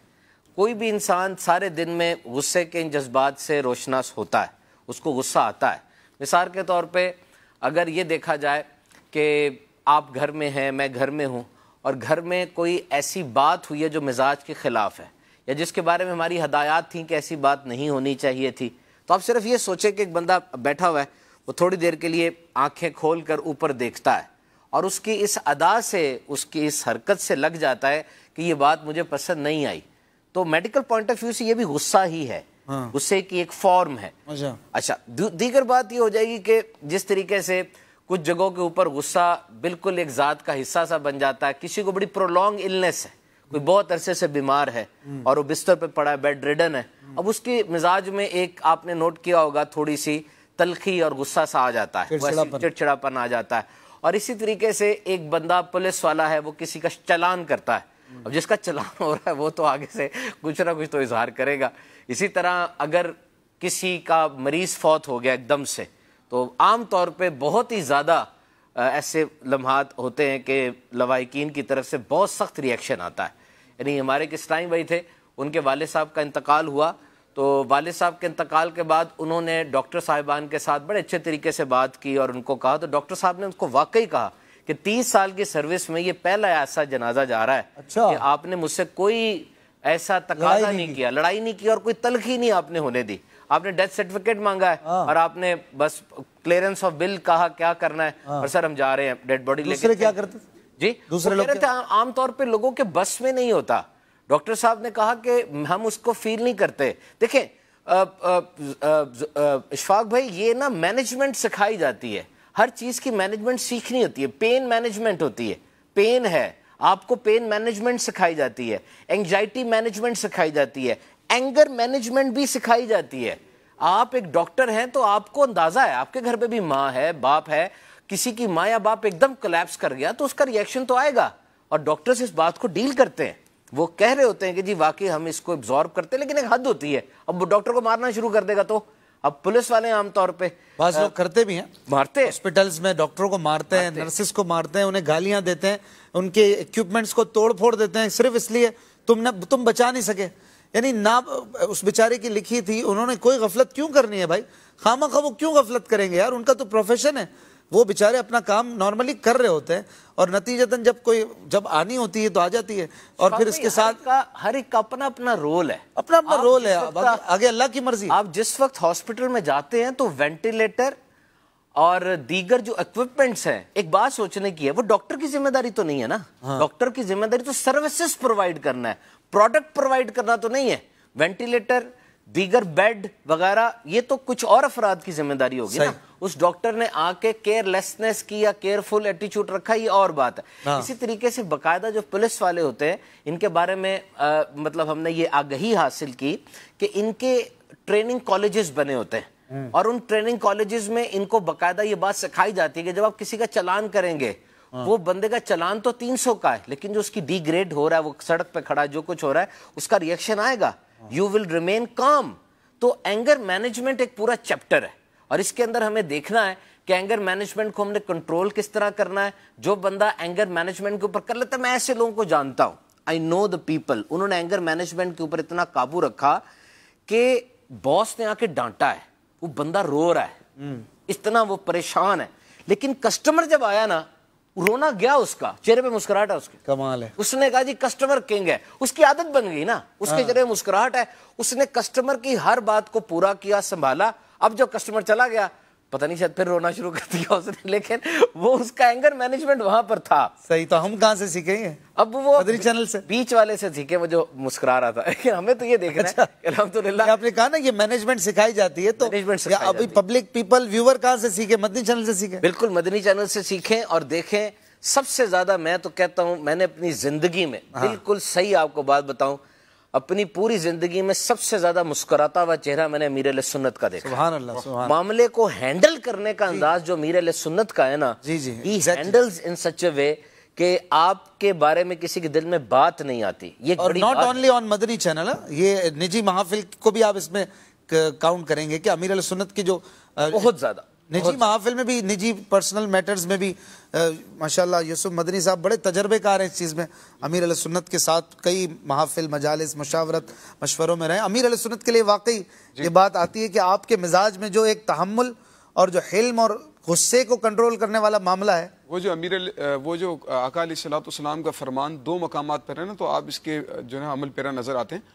एक तो किसी ने आज से अर्ज़ की आका सलाम से कि या रसूल मुझे ऐसा अमल बताइए जो मुझे जन्नत में दाखिल कर दे। तो आका सलाम ने फरमाया ला तकदब वलकल जन्ना। वलकल जन्ना यानी एक बात इरशाद फरमाई। ला तकदब वलकल जन्ना। सुभान कितनी जामे चीज़ होगी। फरमाया तो गुस्सा मत करो तो तुम जन्नत में दाखिल हो जाओ। एक ने नसीहत पूछी तो आका सलाम ने फरमाया ला तकदब वाह वाह वाह। गुस्सा मत करो गुस्सा मत करो।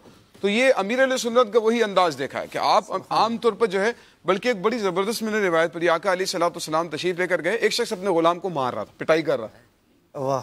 तो आका अली सलाम ने पीछे से अबू मसूद अंसारी रदी अल्लाह आपने पीछे से फरमाया कि भाई तुम जितना इस गुलाम पर कुदरत रखते हो अल्लाह रब्बुल इज़्ज़त इससे ज़्यादा तुम पर कुदरत रखता हाँ। बेशक बेशक। मुड़कर देखा आका अली सलाम तशीफ फरमा थे तो फ़ौरन मतलब वो हो गए ना और आका अली सलाम की के सामने अर्ज़ करने लगे या रसूल अल्लाह, मैंने इसको अल्लाह की रजा के लिए आज़ाद कर दिया। आज़ाद कर दिया। आज़ाद कर दिया। भाई आका अली सलाम ने फरमाया कि अगर तुम ऐसा ना करते तो अल्लाह पाक तुम्हें जहन्नम की आग में जाना आह क्या तरबियत है सुभान अल्लाह माशाल्लाह। जी सोबान में कंटिन्यू कीजिएगा माशा मुफ्ती शफीक साहब भी। हमारे प्रोग्राम में शामिल हो चुके हैं। आप कॉल्स भी कर सकते हैं अपने सवाल अपने तासुरात इवन आज आप गुस्से का कोई नुकसान कभी उठाया हो तो भी शेयर कर सकते हैं अपने तजर्बात से दूसरों को सिखाने के लिए। जी सोबान भाई क्या अच्छा इसमें एक चीज़ मैं आपसे ये अर्ज़ कर दूँ कि सबसे पहले तो गुस्सा आने के जो अवामिल हैं द कॉजेज ऑफ़ एंगर उसको थोड़ा सा अगर देख लें कि आखिर गुस्सा इंसान को क्यों आता है सबसे पहले तो चीज़ें आहिस्ता आहिस्ता बॉयल अप होती हैं। उबाल एकदम नहीं आता पता चल जाता है इंसान को। अच्छा जो सबसे पहले मैंने अर्ज़ की थी कि anger is a part of human behaviour ये इंसान के रवैये का एक पार्ट है। इंसान को गुस्सा ज़रूर आता है अब वो गुस्सा जब एक लिमिट पे आ जाए कि उसकी जबान से अजीब सी बातें निकलने लग गई हैं और वो जनाब हाथ उठाने लग गया है या बदतमीजी होने लग गई तो बॉर्डर क्रॉस हो रहा है। उसको चाहिए था कि जब चीज़ें बॉयल अप हो रही थी, उसको लग रहा था कि उसका बॉर्डर क्रॉस हो रहा है, उस वक्त उसको मैनेज करता। याद रखें कि जिस वक्त आपकी बॉडी में कोई भी चेंज होगी ना, उसकी कोई ना कोई मेडिकल एक्सप्लेनेशन है, क्योंकि ये सारा जिसम बना ऐसे हुआ है। इंसान के जिसम में हार्मोन्स हैं। 50 हार्मोन्स होते हैं। ये केमिकल्स हैं जो कि मुख्तलिफ़ कामों की वजह है। आपको नींद आ रही है मेलाटोनिन दिमाग से निकल रहा है। आपको भूख लग रही है ग्रिलिन नाम का हार्मोन एक्सक्रीट हो रहा है। आपको अ, खुशी हो रही है लव पैदा हो रहा है आपको तो ऑक्सीटोसिन सेरोटोनिन एंडोर्फिन ये निकल रहे हैं। अब गुस्सा आ रहा है। तो गुस्से के अंदर ये एक बड़ा ही जहरीला किस्म का हार्मोन है जिसको एड्रेनालिन कहते हैं। यानी अब समझ लें जब आपके सामने किसी चीज़ तो गुस्सा आ रहा होगा ना तो ये मैं आपको बॉडी का रिएक्शन बता दूँ। उसका दिमाग खून को ऑर्डर कर रहा है कि पेट की तरफ़ नहीं मसल्स की तरफ़ जाओ ताकि वो बंदा अपने हाथ पाँव ठीक कर सके सीधे कर सके। ओहो। और उस बंदे के पूरे खून के अंदर सैलाब आ जाता है एड्रेनालिन का ये गंदे हार्मोन का पूरे जिसम के अंदर। वो बंदा जो है उसके दिल की धड़कन ब्लड प्रेशर आप चेक कर लें उस वक्त बहुत तेज हुआ होगा। और उस बंदे के अंदर जो फ़्लाइट एंड फाइट रिस्पॉन्स है, यानी खुशी में, डर के अंदर जो रिस्पॉन्स पैदा होता है, वो ज़्यादा हो जाता है। तो उस बंदे को उस वक्त कंट्रोल करने के लिए बाकायदा एक्सरसाइजेस बताई जाती हैं। एक बात याद रखिएगा कि जो बंदा ज़्यादा गुस्से की कैफियत में मुसलसल रहेगा, उसके मिजाज में ही बात काटना हर बात से नेगेटिव बात लेना और ये शामिल हो जाएगी तो अब उसको बहुत सी बीमारियाँ हो सकती है जिसमें सबसे पहले नींद की कमी इंसोमनिया क्योंकि उसका दिमाग हर वक्त हाइपर एक्टिव है ना अलर्ट है कि गुस्सा करना है मैंने। दूसरे नंबर पे हाई ब्लड प्रेशर तीसरे नंबर पे किसी भी वक्त हार्ट अटैक किसी भी वक्त क्योंकि जिस वक्त वो ब्लड प्रेशर का एक स्टॉर्म आएगा एक तूफ़ान आएगा खून में तो किसी को भी उसका दिल बंद हो सकता है। मार ही डाला आपने तो। और बहुत से लोग ऐसे हैं जो शदीद गुस्से के आलम में हार्ट अटैक का शिकार हुए। डॉक्टर पूछते बकायदा। अच्छा आप फरमा रहे गुस्सा का जो गुस्से का जो आदि होता है वो हाई ब्लड प्रेशर का शिकार हो जाता है। और हम ये सुनते हैं कि जो हाई ब्लड प्रेशर का शिकार है उसको गुस्सा ज़्यादा ज़्यादा आने लगता है। तो क्या ये दोनों बातें एक ही हैं या इसमें फ़र्क पहली है बात तो ये है कि एक बात ये देख ले कि हाई ब्लड प्रेशर जो है वो कब होता है?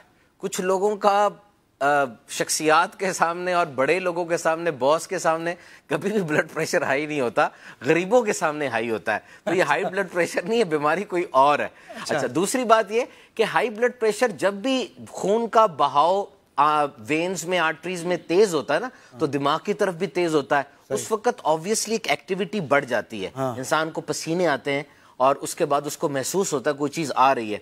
वो इस चीज़ को बीमारी समझ के डील करे ना कि उसको किसी और पे निकाले। बिला शुबा हाई ब्लड प्रेशर के टेम्पर कंट्रोल नहीं रहता उसका। यूँ कह लें आप। ये ना कि उसको गुस्सा आता है उसका टेम्पर कंट्रोल नहीं है। अच्छा। जैसे उसको टेम्पर लगे ऐसा फ़ौरन दवाइयाँ खाए। क्योंकि ब्लड प्रेशर एक ऐसा सैलाब है। गौर से सुनिएगा। ब्लड प्रेशर एक ऐसा सैलाब है जो जब आता है तो जब उसने उतरना है ना तो उतर तो जाना है लेकिन तबाही मचा के जाना है। ओ हो। हो गुर्दे को दिल को और दिमाग को शदीद मुतासर करके वो जाता है। इसीलिए कहा जाता है ब्रिटिश स्कूल ऑफ़ साइंस के मुताबिक कि जिसका ब्लड प्रेशर ज़िंदगी में एक दफ़ा 180 को टच हो गया हाँ। अब वो लाइफ लॉन्ग मेडिसिन पे रहेगा। वो सारी ज़िंदगी दवाई खाएगा कम ज़्यादा होता रहेगा तो डॉक्टर से कंसल्ट करेगा। तो गुस्से की एक वजह ये मैंने आपसे अर्ज़ की। एक चीज़ और मैं अर्ज़ कर दूँ इसमें कि ये देख लें कि जिस वक्त आपको गुस्सा है उस वक्त आपको मैनेज कैसे करना है। इसमें बहुत से साइकोलॉजिस्ट तरीके बताते हैं। सबसे पहला तरीका तो बड़ा बेहतरीन है कि आपकी बॉडी जिस तरफ़ जा रही है आप उसको रिवर्स करें। मिसाल के तौर पे सबसे पहले आपके सांस जो कि तेज तेज हो रहा है हार्ट बीट तेज हो रही है।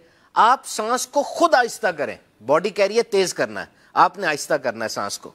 जब आप सांस आहिस्ता लेंगे आपकी हार्ट बीट भी नॉर्मल होगी।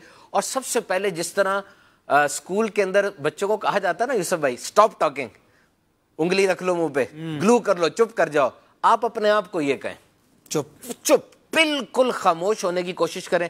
मैं मानता हूँ कि सारी मोटिवेशनल तकरीरें सारे ये लेक्चर जिस वक्त पड़ती है सर पे तब वो उल्टे लग रहे होते हैं। लेकिन ये चीज़ें वो हैं जो आपको बचा लेंगी। यकीन कीजिए एक बात गुस्से से निकली हुई। आप गुस्से की कैफियत से वापस आ जाएँगे। आपकी उस बात ने जो तबाही मचा दी होगी ना वो रिपेयर सारी ज़िंदगी नहीं होता। ओए सही दिल से बात निकालने वाले निकाल देते हैं लेकिन वो एक दरार सी परी रह जाती है। आप अपने फैसलों को देख ले। जब भी बहुत ज़्यादा खुश हो फैसला ना करें बाद में निभाया नहीं जाएगा। हाँ। आप बड़े वादे कर लेंगे। जब भी बहुत ज़्यादा गुस्से में हो तब भी वर्डिक्ट ना दें। बाद में आपसे उसको बैकअप नहीं हुआ जाएगा। दुनिया के बड़े बड़े लोग खास तौर पे ये जो बड़े लोग से मुराद है जो उहदे वाले लोग होते हैं खास तौर पे जो फॉरेन अफेयर मिनिस्टर बनते हैं जो मुकाबले के इम्तिहान पास करके दीगर जगहों पे जाते हैं उनको बकायदा एंगर मैनेजमेंट सिखाई जाती। देखे मेरा आपके साथ गुस्सा करना एक है आपका मेरे साथ गुस्सा करना एक है। अव्वल तो ये भी नहीं करना चाहिए इशफाक भी मेरे बड़े अच्छे दोस्त हैं इधर का गुस्सा उधर का गुस्सा इधर का गुस्सा उधर का गुस्सा इकट्ठा इशफाक भाई पे निकालूँगा। एक ये भी आदत होती है अच्छा। उसको पंचिंग पैड बनाया हुआ है एक दोस्त रखा हुआ अपना उस पर खूब मुक्के चलाऊँगा। याद रखे उसको भी गुस्सा करेंगे ना वो आपकी इस नेचर को देख लेगा ब्रांड बन जाएगा। और एक दिन फिर कटा जा हो जाएगा। तो मैं आप सर्च कर रहा था जो फॉरेन अफेयर्स मिनिस्टर होते हैं जिन्होंने मुल्कों के दरमियान रवाबित बनाने होते हैं मुझे बताया बताएँ एम्बेसडर। अगर ये एम्बेसडर कोई ऐसी बात कर दे कितने मुश्किल हालात में इनके मुँह से मुस्कुराहट नहीं जाती।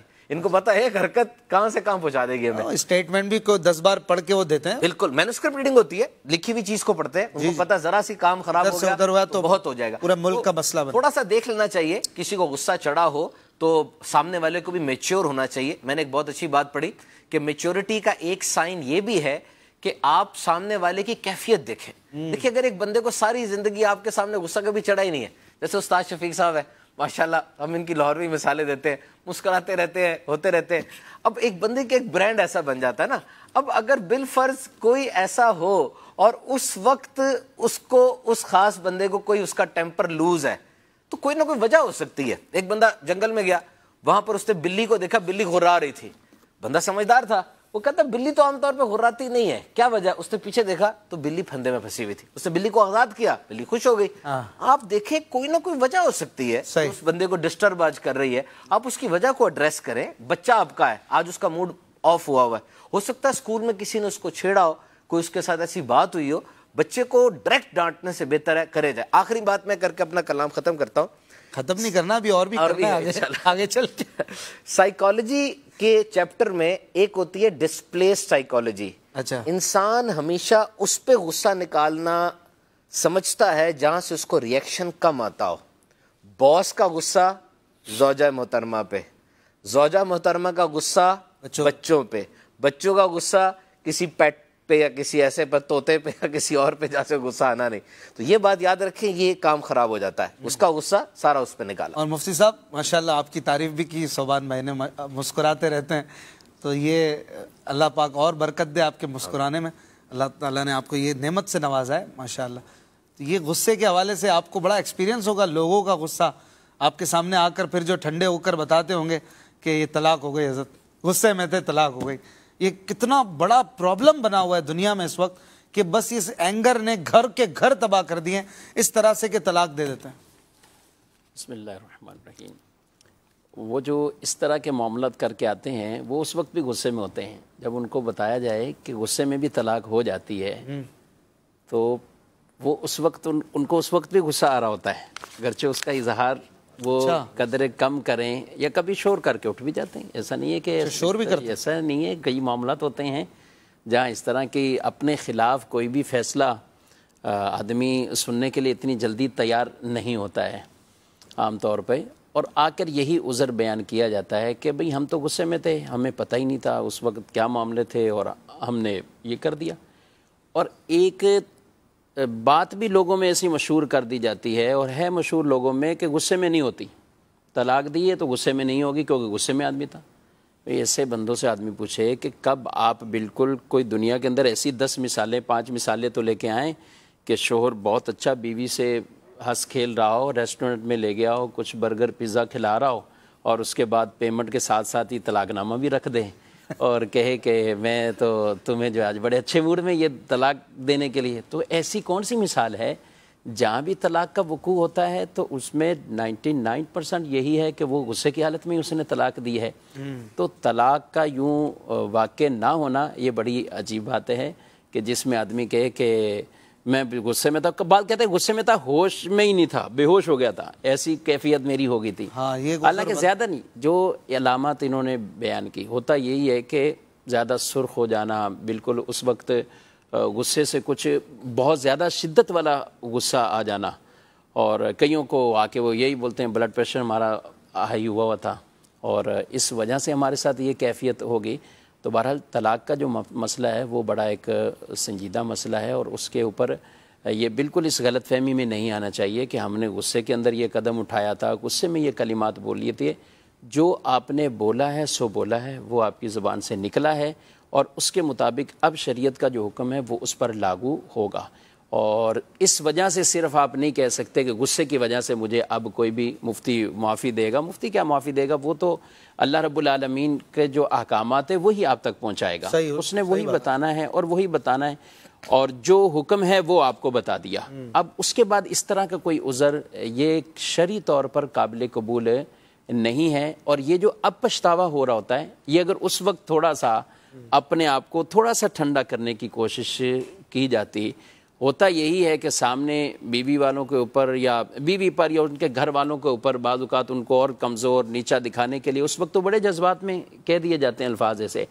लेकिन बाद में खुद ही शर्मिंदा हो रहे होते हैं। बाद में अपने आप को, कोई अपने आप को मार रहे होते हैं, अपने आप को बुरा भला कह रहे होते हैं, उसके घर वाले कह रहे होते हैं। लेकिन जब ये मजमे में हो रहा था उस वक्त, कोई भी नहीं उस वक्त आगे आया कि इसको थोड़ा सा बिठाएँ, थोड़ा साइड पे, कोई अपनी मजलिस चेंज करें, उस वक्त की जो जगह चेंज होती है, बहुत असर पड़ता है इससे कि बंदे का बिल्कुल लो जो है वो टेम्परेचर उसमें हो जाएगा और फिर काफ़ी समझदारी से गुफ्तगू होता ही है किसी गुस्से वाले को पकड़ के बिठा दें। कोई आदमी थोड़ा सा जानदार हो, वो और उसको पकड़ ले। एक मिनट में उसको सही कर देगा। बिल्कुल एक मिनट के अंदर वो अपने उस कैटेगरी बिल्कुल कैफियत में आएगा आराम से। आप गुफ्तु करने लग जाएगा या उसको पानी होता है। पानी पिलाएँ तो बिल्कुल उसके साथ जो है वो हमारे नबी ने भी कुछ तरीके बताए ना गुस्सा दूर करने के। बिल्कुल ये तरीके तो नबी पाक सल्लल्लाहु अलैहि वसल्लम की तालीमात में से ना कि जिनके अंदर ये फरमाया गया है, बैठने के लिए फरमाया गया है वज़ू करने की एक ये भी गुस्से का जो इलाज बयान किया गया है आदमी कुछ चले उस वक्त वज़ू करने नहीं जाता तो बैठे, उसको कोई इर्द गिर्द वाला है, वो उसको कोई बिठाए। वो काम कर ले, उसका थोड़ी सी उसकी हेल्प करें तो उम्मीद है, इसी तरह सामने से अगर इंतकामी जुमलों का ही कोई इस तरह का तबादला हो रहा है तो वो भी थोड़े खामोश हो जाएँ। अगर इस तरह का मोड़े एक बंदे को बहुत गुस्सा आ गया है। अब उस वक्त बीवी भी आगे से, और बाद बीवियाँ होती हैं ऐसी कि आप मतलब आप आप मर्द के बच्चे आप दे के दिखाएँ। आप तो कर ही नहीं सकते आपके अंदर हिम्मत ही नहीं है। ऐसे कहते हैं। वो खुद आके कहते हैं, भाई, ये बैठी हुई है, अब इसने यही कहा था मुझे कि आप तो कर ही नहीं सकते, आपके अंदर हिम्मत ही नहीं है। अब वो इतना उसको तैश दिलाया, पहले तैश आ रहा है और ऊपर फिर इतना तैश दिलाया। उसके बाद दोनों बैठे हुए, ये रो रहे होते हैं कि अब क्या करें? तो इसलिए ये साथ इसके कोई है तो उसको बिठाए। जी। और दूसरी तरफ़ कुछ है तो वो फिर अपनी ज़बान रोके, अपने इस तरह के मामला को कुछ वो रोक ले। वो चुप का एक तावीज़ होता है ना, वो किसी खातून ने मौलाना कहा कि, भाई, घर में लड़ाइयाँ ख़त्म नहीं होती, ये नहीं होती। तो उसने बोला, एक तावीज़ है, लेकिन आपको अमल करना पड़ेगा, पाँच, दस दिन, एक महीना करके देखें। जब भी गुस्सा आए तो ये तावीज़ आपने अपनी जबान में अपने मुँह में रख लेना नीचे। है अब बस इसके ऊपर पाँच मिनट अमल करना है। आ, उसके बाद पता चला कि कुछ भी नहीं है तो सब मामला सही हो गए की जबान से हो रहे थे वही बंद करवा वही बंद होगी तो अब मसला ही सारा क्लियर हो गया हल हो गया। तो गुस्से का आना कुछ ऐसे इसबाब और ये चीज़ें। देखें गुस्सा तो बरहक है और ये एक फितरी चीज़ है। बाद लोग समझते हैं गुस्सा ही हराम है। गुस्सा तो हराम नहीं है ये सबको आता है। जी। और बाज़ जगह तो शरीयत ने मतलूब है शरीयत को कि वहाँ कुछ गुस्सा आए आपको। वहाँ कुछ आपकी कैफियत ऐसी होनी चाहिए। ऐसा ना हो कि आप बिल्कुल नॉर्मली इन चीज़ों को आप सुने और नॉर्मली इन चीज़ों को आप डील करें ऐसा नहीं है। बल्कि हदीस पाक में जो ये बात इरशाद फरमाई गई है कि जो अल्लाह के लिए ही मोहब्बत करे और अल्लाह के लिए ही किसी से दुश्मनी रखेगा। अल्लाह के लिए बुग्ज रखे दुश्मनी रखे अल्लाह के लिए किसी को दे अल्लाह के लिए किसी को मना करे फ़कत इस्तकमल ईमान। कामिल हो उसका कामिल ईमान हो जाएगा। तो कई मकाम पे तो शरीयत को ही मतलूब है। अब बंदा वालिद बिल्कुल ताकत रखता है सब कुछ रखता है। अपने घर के अंदर तो ताकत है कि कई चीज़ों से बुराइयों से वो आदमी रोक सकता है।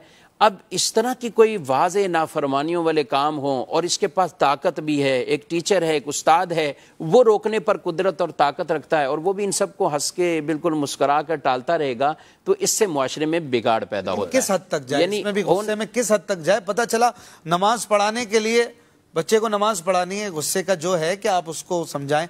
लेकिन इसमें अब अपनी अना पे बाजोकात ले लेते हैं कि अब वो अल्लाह के लिए रहता नहीं है कभी कभी अब वो हो जाता है, तूने मेरी मानी नहीं मैं तुझे छोड़ूँगा नहीं। अरे भाई आप थोड़ा लिमिट में तो ऐसा भी ना करो कि वो जो है, बच्चा सहम कर घर से भाग जाए। अब वो उस पर आ जाते कि इसने मेरी मानी नहीं ठीक है, आपके दिल में, आप जो भी गुस्सा कर अनानियत पे ना आए कि बाजुकात आ जाती है कि यार, इसने मेरी नहीं मानी, मैं बाप हूँ इसका। अरे भाई, अल्लाह के बंदे, आप अल्लाह के लिए समझा रहे हो तो अल्लाह वाला तरीका इस्तेमाल करो। जलाल भी करना है तो ऐसा करो लिमिटेड हो कि जिसकी शरीयत ने जहाँ तक इजाज़त दी है आप उसी में जाएँ और इसमें अपने ऊपर नफ्स के लिए इंतकाम ना ले लें। अपने बच्चों को बाज औकात ऐसा ऐसा मारते हैं लोग हज़रत। आपको पता चलता होगा उसमें सर फाड़ देते हैं हड्डियाँ तोड़ देते हैं अपने ही बच्चों की। अस्तगफिरुल्लाह। उसमें होता ये है उसके अंदर ये वाला जो स्टेप आपने आगे वाला ये कहा है ना अब ये तो अपने गुस्से के बाद उसका इंतकाम कोई ऐसा ही ले रहा है उससे या मेरी बात नहीं मानी उसके ऊपर उसको इतना गुस्सा आ रहा है। अपनी उसके अपनी अना के ऊपर वो मामला थे ये तो शरीयत को नाम मकसूद है और बिल्कुल उल्टा गुनागार होगा वालिद भी है तो या उस्ताद भी है कोई भी है अगर इस तरह अपने शागिर्दों के साथ कि जो हद क्रॉस करे। देखें हदीस पाक एक जिसमें काजी जज जो लोग जिनकी कलम चलती है जिनके फैसलों से आगे सज़ाओं का निफाज हो जाता है उनके बारे में हदीस पाक। कि ख़ास तौर पर इशाद फरमाया गया कि अगर किसी ने अल्लाह की हद को क्रॉस करते हुए इस बात पर गुस्सा खाया कि यार ये ऐसा इसने घटिया काम कर दिया बस इसको सजा इससे थोड़ी और आगे मिलनी चाहिए इसको आगे होनी चाहिए कि इसने और है क्या कि अल्लाह की इसने नाफरमानी की है इसको सजा ये दे दो। अच्छा किसी पर ये होगा कि दिल में नरमी आ जाए नहीं नहीं इसको छोड़ दो आदि कर दो ठीक है हो गया। जितनी है उससे भी बिल्कुल कम। और मैं क्यामत के दिन ऐसे लोगों को वो जब अल्लाह उनसे पूछेगा कि जब मेरी तरफ़ से ये लिमिट थी ये हद थी तो इसको क्रॉस क्यों किया? कब क्यों किया? क्यों? नहीं ज़्यादा क्यों किया? ज़्यादा क्यों? ज़्यादा क्यों किया? तुम्हें ज़्यादा गुस्सा आया था? जी जी जी। फरमाया जाएगा मैं कहार हूँ मैं जब्बार हूँ तुम्हें मुझसे ज़्यादा वो था गुस्सा हो तुम, ये तुमने ये कर दिया। और जिसको जो कम करेगा उससे ये फरमाया जाएगा ते तू हमसे ज़्यादा नहीं मैं तेरे अंदर रहमत ज़्यादा है क्या? तो ये जो लिमिट रखी है शरीयत ने वो लोगों के ही फ़ायदे के लिए रखी है हकूक़ के लिए रखी है दूसरों के हकूक़ के तहफ़ के लिए रखी है। तो जहाँ अना का ये चीज़ें सामने हज़रत अली रदी अल्लाह तआला किसी से वो अब वो गजबे में थे लड़ाई में थे अब उसने थूक दिया तो आप क्या कहते हैं अब अब मेरी अना का यानी या मेरी नफ्स का कहने कुछ चीज़ शामिल हो रही थी तो मैं जुदा हो गया। वो बंदा यही देखते हुए कि ये इनके अखलाक हैं इनका इस्लाम ये सिखाता है कि अपनी नफ्स और अना के ऊपर इन्होंने कुछ भी नहीं किया। जो कुछ पहले कर रहे थे वो भी लिल्लाहियत के लिए कर रहे थे। अब जुदा हो गए वो भी कलमा पढ़ता है मुसलमान हो जाता है। ऐसे कई रसुल्ला सल्लल्लाहु अलैहि वसल्लम के वाकयात कि जिसमें बज़ाहिर सामने वाले ने गुस्सा दिलाया उसने आके वो शख्स ने जिसने चादर खींची आप सल्लल्लाहु अलैहि वसल्लम नजरानी वो चादर थी कि जिससे मुबारक गले पर निशान पड़ जाते हैं। और इत, इस कदर आप सल्लल्लाहु अलैहि वसल्लम के साथ वो किया और जब आपने देखा तो कहा मुझे माल दीजिए मुझे वो दीजिए। लेकिन आप सल्लल्लाहु अलैहि वसल्लम ने फिर भी उसके साथ एक अच्छा बर्ताव किया और हुस्न अखलाक वाला और बहुत ही मीठा बोल बोल कर आप सल्लल्लाहु अलैहि वसल्लम ने उसे जवाब इरशाद फरमाया। इसकी एक मिसालें नहीं हमारे पास कितनी अ, इमाम जैनुल आबिदीन की इमाम हसन रदी अल्लाह के वो जो अ, खादिमा ने कुछ बर्तन उनके ऊपर गिरा दिया था वज़ू कराते हुए और उनकी उनको ज़ख्म आ गया था। इमाम जैनुल आबिदीन का एक वाक़ इमाम हसन के हवाले से भी है कि जिनमें वो खाना लेने के लिए किसी गुलाम को भेजा था और वो बर्तन भी ठोकर मार के गिरा के आ गए तोड़ के आ गए और खाना भी नहीं लेकर आए। वैसे भी ताखीर से आए। आपको जलाल था। जब सामने आए तो खादिम भी अहल बैत के घराने में था कुरान पढ़ने वाला था और उसने भी आते ही आके आयत पढ़ दी वलका ज़मीन अलगैदा। और वो जो गुस्से को पी जाने वाले तो आप थोड़ा सा आप ठंडे हो गए और फिर कोई जलाल वाला कोई ऐसा जुमला नहीं इरशाद फरमाया। उसने आगे से फिर मौके का फ़ायदा उठाया। वलाफीना अन्नास लोगों को माफ़ भी कर देने वाले हैं। तो आपने फरमाया जब माफ़ किया। उसने अगला हिस्सा भी पढ़ दिया वल्लाह युहिब्बुल मुहसिनीन। अल्लाह एहसान करने वालों को पसंद करता है। फरमाया अल्लाह के लिए तुम्हें आज़ाद भी कर तुम्हें आज़ाद भी कर देगा। सुबहान अल्लाह तो बड़ी खूबसूरत बातें हैं हमारे वलियों की बुज़ुर्गों की इस्लाम की अजीम हस्तियों की कि उन्होंने गुस्से को कैसे कंट्रोल किया। और आजकल जो है जैसे जैसे दौर आ, आगे बढ़ रहा है फास्ट हो रहा है यूसुफ भाई बच्चों को भी गुस्सा आने लगा है। बच्चों का गुस्सा कैसे कंट्रोल करें? जी बच्चों का गुस्से में तो असल में दो तरह की चीज़ें होती हैं। एक तो या तो वो गैर अखलाकी हरकत कर रहा है कोई या फिर वही वाली बात है कि आपके मिजाज के ख़िलाफ़ कोई काम कर रहा है। या तो मिजाज के ख़िलाफ़ काम कर रहा है या फिर कोई गैर अखलाकी हरकत कर रहा है। तो मिजाज के ख़िलाफ़ काम करने के हवाले से तो मुफ्ती साहब ने बहुत ही तफसीली गुफ्तु भी फरमाई कि अगर मिजाज के ख़िलाफ़ काम हो रहा है तो इब्तदान इंसान उसको अपने आप को ही रोके कि मैं इसके ऊपर गुस्सा क्यों कर रहा हूँ। और दूसरा अगर कोई गैर शरई या गैर अखलाकी हरकत कर रहा है तो वहाँ पर गुस्सा करना ज़रूरी है। अब यह है कि बच्चा गुस्सा कर रहा है तो बच्चे के गुस्सा करने की भी आम तौर पर वजह जो देखी गई है वो ये देखी गई है कि वो वालदेन को गुस्सा करता हुआ देख रहा होता है। या बड़े भाई हैं वो छोटे पर गुस्सा कर रहे हैं और वो अपने से छोटे वाले पर गुस्सा कर रहा होता है। क्योंकि सोवान ने बड़ी प्यारी बात इशाद फरमाई थी कि जहाँ से उसको रिएक्शन कम होने का अंदे, मिलता अंदेशा होता है ना वहीं पर वो अपने गुस्से का इजहार करता है। तो वालदेन अगर गुस्सीले हैं तो औलाद के अंदर भी वो वस्फ मुंतकिल होता है। अगरचे के वालदेन के सामने गुस्सा गुस्से का इजहार करे ना करे लेकिन स्कूल में करेगा जहाँ पर दोस्तों के साथ पढ़ता है, वहाँ पर करेगा, अपने छोटे बहन भाइयों पर करेगा। और फिर हो सकता है कि वो नुकसान ज़्यादा पहुँचाए बड़े के मुकाबले में। चीज़ें उठाकर फेंकेगा, उनको नुकसान पहुंचाएगा, छोटे भाइयों को ज़्यादा मार पिटाई करेगा। तो ये जो बच्चों के अंदर भी जो गुस्से की अलामत पाई जाती है, गुस्से की जो आदत आ जाती है तो वालिदैन हम गुस्से में समझा रहे हैं कि गुस्सा मत कर भाई, तेरे को कहा तो गुस्सा क्यों कर रहा है? अच्छा वालिद भी गुस्से में बच्चों को समझा रहे कि गुस्सा मत करो। गुस्सा करके दिखा रहा है। तो वो एक बंदे ने कहा ना यहाँ बैठ के गाली नहीं देना और फिर उसने गाली दी। अच्छा हैरत की बात गाली दी तो क्या उसको गाली नहीं देगा? खुद ही गाली दे के बोल रहा यहाँ गाली नहीं देना मेरे सामने। तो भाई अब तो अच्छा इसी बार एक बड़ी अजीब और गरीब किस्म की बात थी हम एक जगह खड़े हुए थे तो एक बच्चे बच्चे की उन एक आदमी के बच्चे की किसी थोड़े बड़े बच्चे के साथ कोई मुंहमारी हो गई। उस बच्चे के वालिद साहब भी आ गए। और उस बड़े बच्चे को जो है वो बड़ा गुस्से का इजहार करने लगे। तुम ये कर रहे हो तुम वो कर रहे हो ऐसे करो। अच्छा वो जो बड़ा बच्चा था तो वो भी थोड़ा सा बदतमीजी के साथ पेश आ रहा है। वो कहने लगे कि भाई देखो गाली नहीं देना। बोला ये ये भी तो गाली दे रहा था। बोला ये गाली देगा दे गाली। अच्छा वो आदमी अपने बच्चे को कह रहा है अच्छा। दे गाली दे गाली इसको दे गाली इसको अभी। इतना मतलब अजीब सा महसूस हो रहा था। इतना गुस्से में है कि अपने बच्चों की भी वो बुरी तरबियत कर रहे हैं। कि तुमने ये काम करना है और करवा रहे हैं। तो वो जो आप गुस्सा कर रहे हैं और गुस्से में आप बच्चे को समझा रहे हैं कि आपको गुस्सा नहीं करना। बहुत अच्छी बात। तो इसको उसके उसके बच्चे बच्चे की आपको तरबियत करनी है लेकिन इस अंदाज पर करनी है कि देखो बेटा अगर आपके मिजाज के खिलाफ कोई काम हो जाए तो आपने उसको किस तरह से फेस करना है? आपने उसको किस तरह हैंडल करना है? आपने उसका जवाब किस तरीके से देना है? आपकी फितरत के खिलाफ कोई बात हो गई है? आप कोई काम करना नहीं चाह रहे हो? आपके मिजाज के खिलाफ कोई बात हो रही है? तो आपको किस तरह से उसको हैंडल करना है? ज़बरदस्त। आप प्रैक्टिकली अमली तौर पर अगर उसको करके दिखाएँगे तो वो बच्चे की तरबियत का एक हिस्सा बन जाएगा। और इसी तरह घर में एक मैं ऐड करूँगा बात कि एक तो ये बच्चे की जो टेम्पर के हवाले से आपने फरमाया माशाल्लाह तरबियत के हवाले से बेहतरीन है। किसी ने एक बात लिखी थी कि हमारा एक कल्चर है ऐसा बड़ा मुनफरद। कि हम रोते हुए बच्चे को मजीद थप्पड़ मार के चुप कराते हैं। वो रो पहले ही रहा है उसको थप्पड़ मारेंगे चुप करे तो, तो वो तो और रोएगा। पे एक चीज़ ये देखी जाए। वैसे बाज बच्चे चुप भी हो जाते हैं थप्पड़ मारो तो चुप। नहीं इसके बाद कुछ कोई चीज़ देनी पड़ती है खिलौना कुछ खाने पीने की चीज़ फिर जाकर वो चुप हो। बाज जो चुप होते हैं ना वो शौक में चुप होते हैं बिल्कुल, ये क्या हुआ? फिर इससे बड़ा एक वो चीख मारते हैं। असल में ये जो चीज़ जब भी गुस्से वाली कैफियत हो ना मुफ्ती शफीक साहब की बात ने वाकई दिल जीत ली। जीत लिया? जीत लिया। वाह। मुबारक बाद कह रहा कि कोई बंदा तीसरा इन्वॉल्व ज़रूर हो।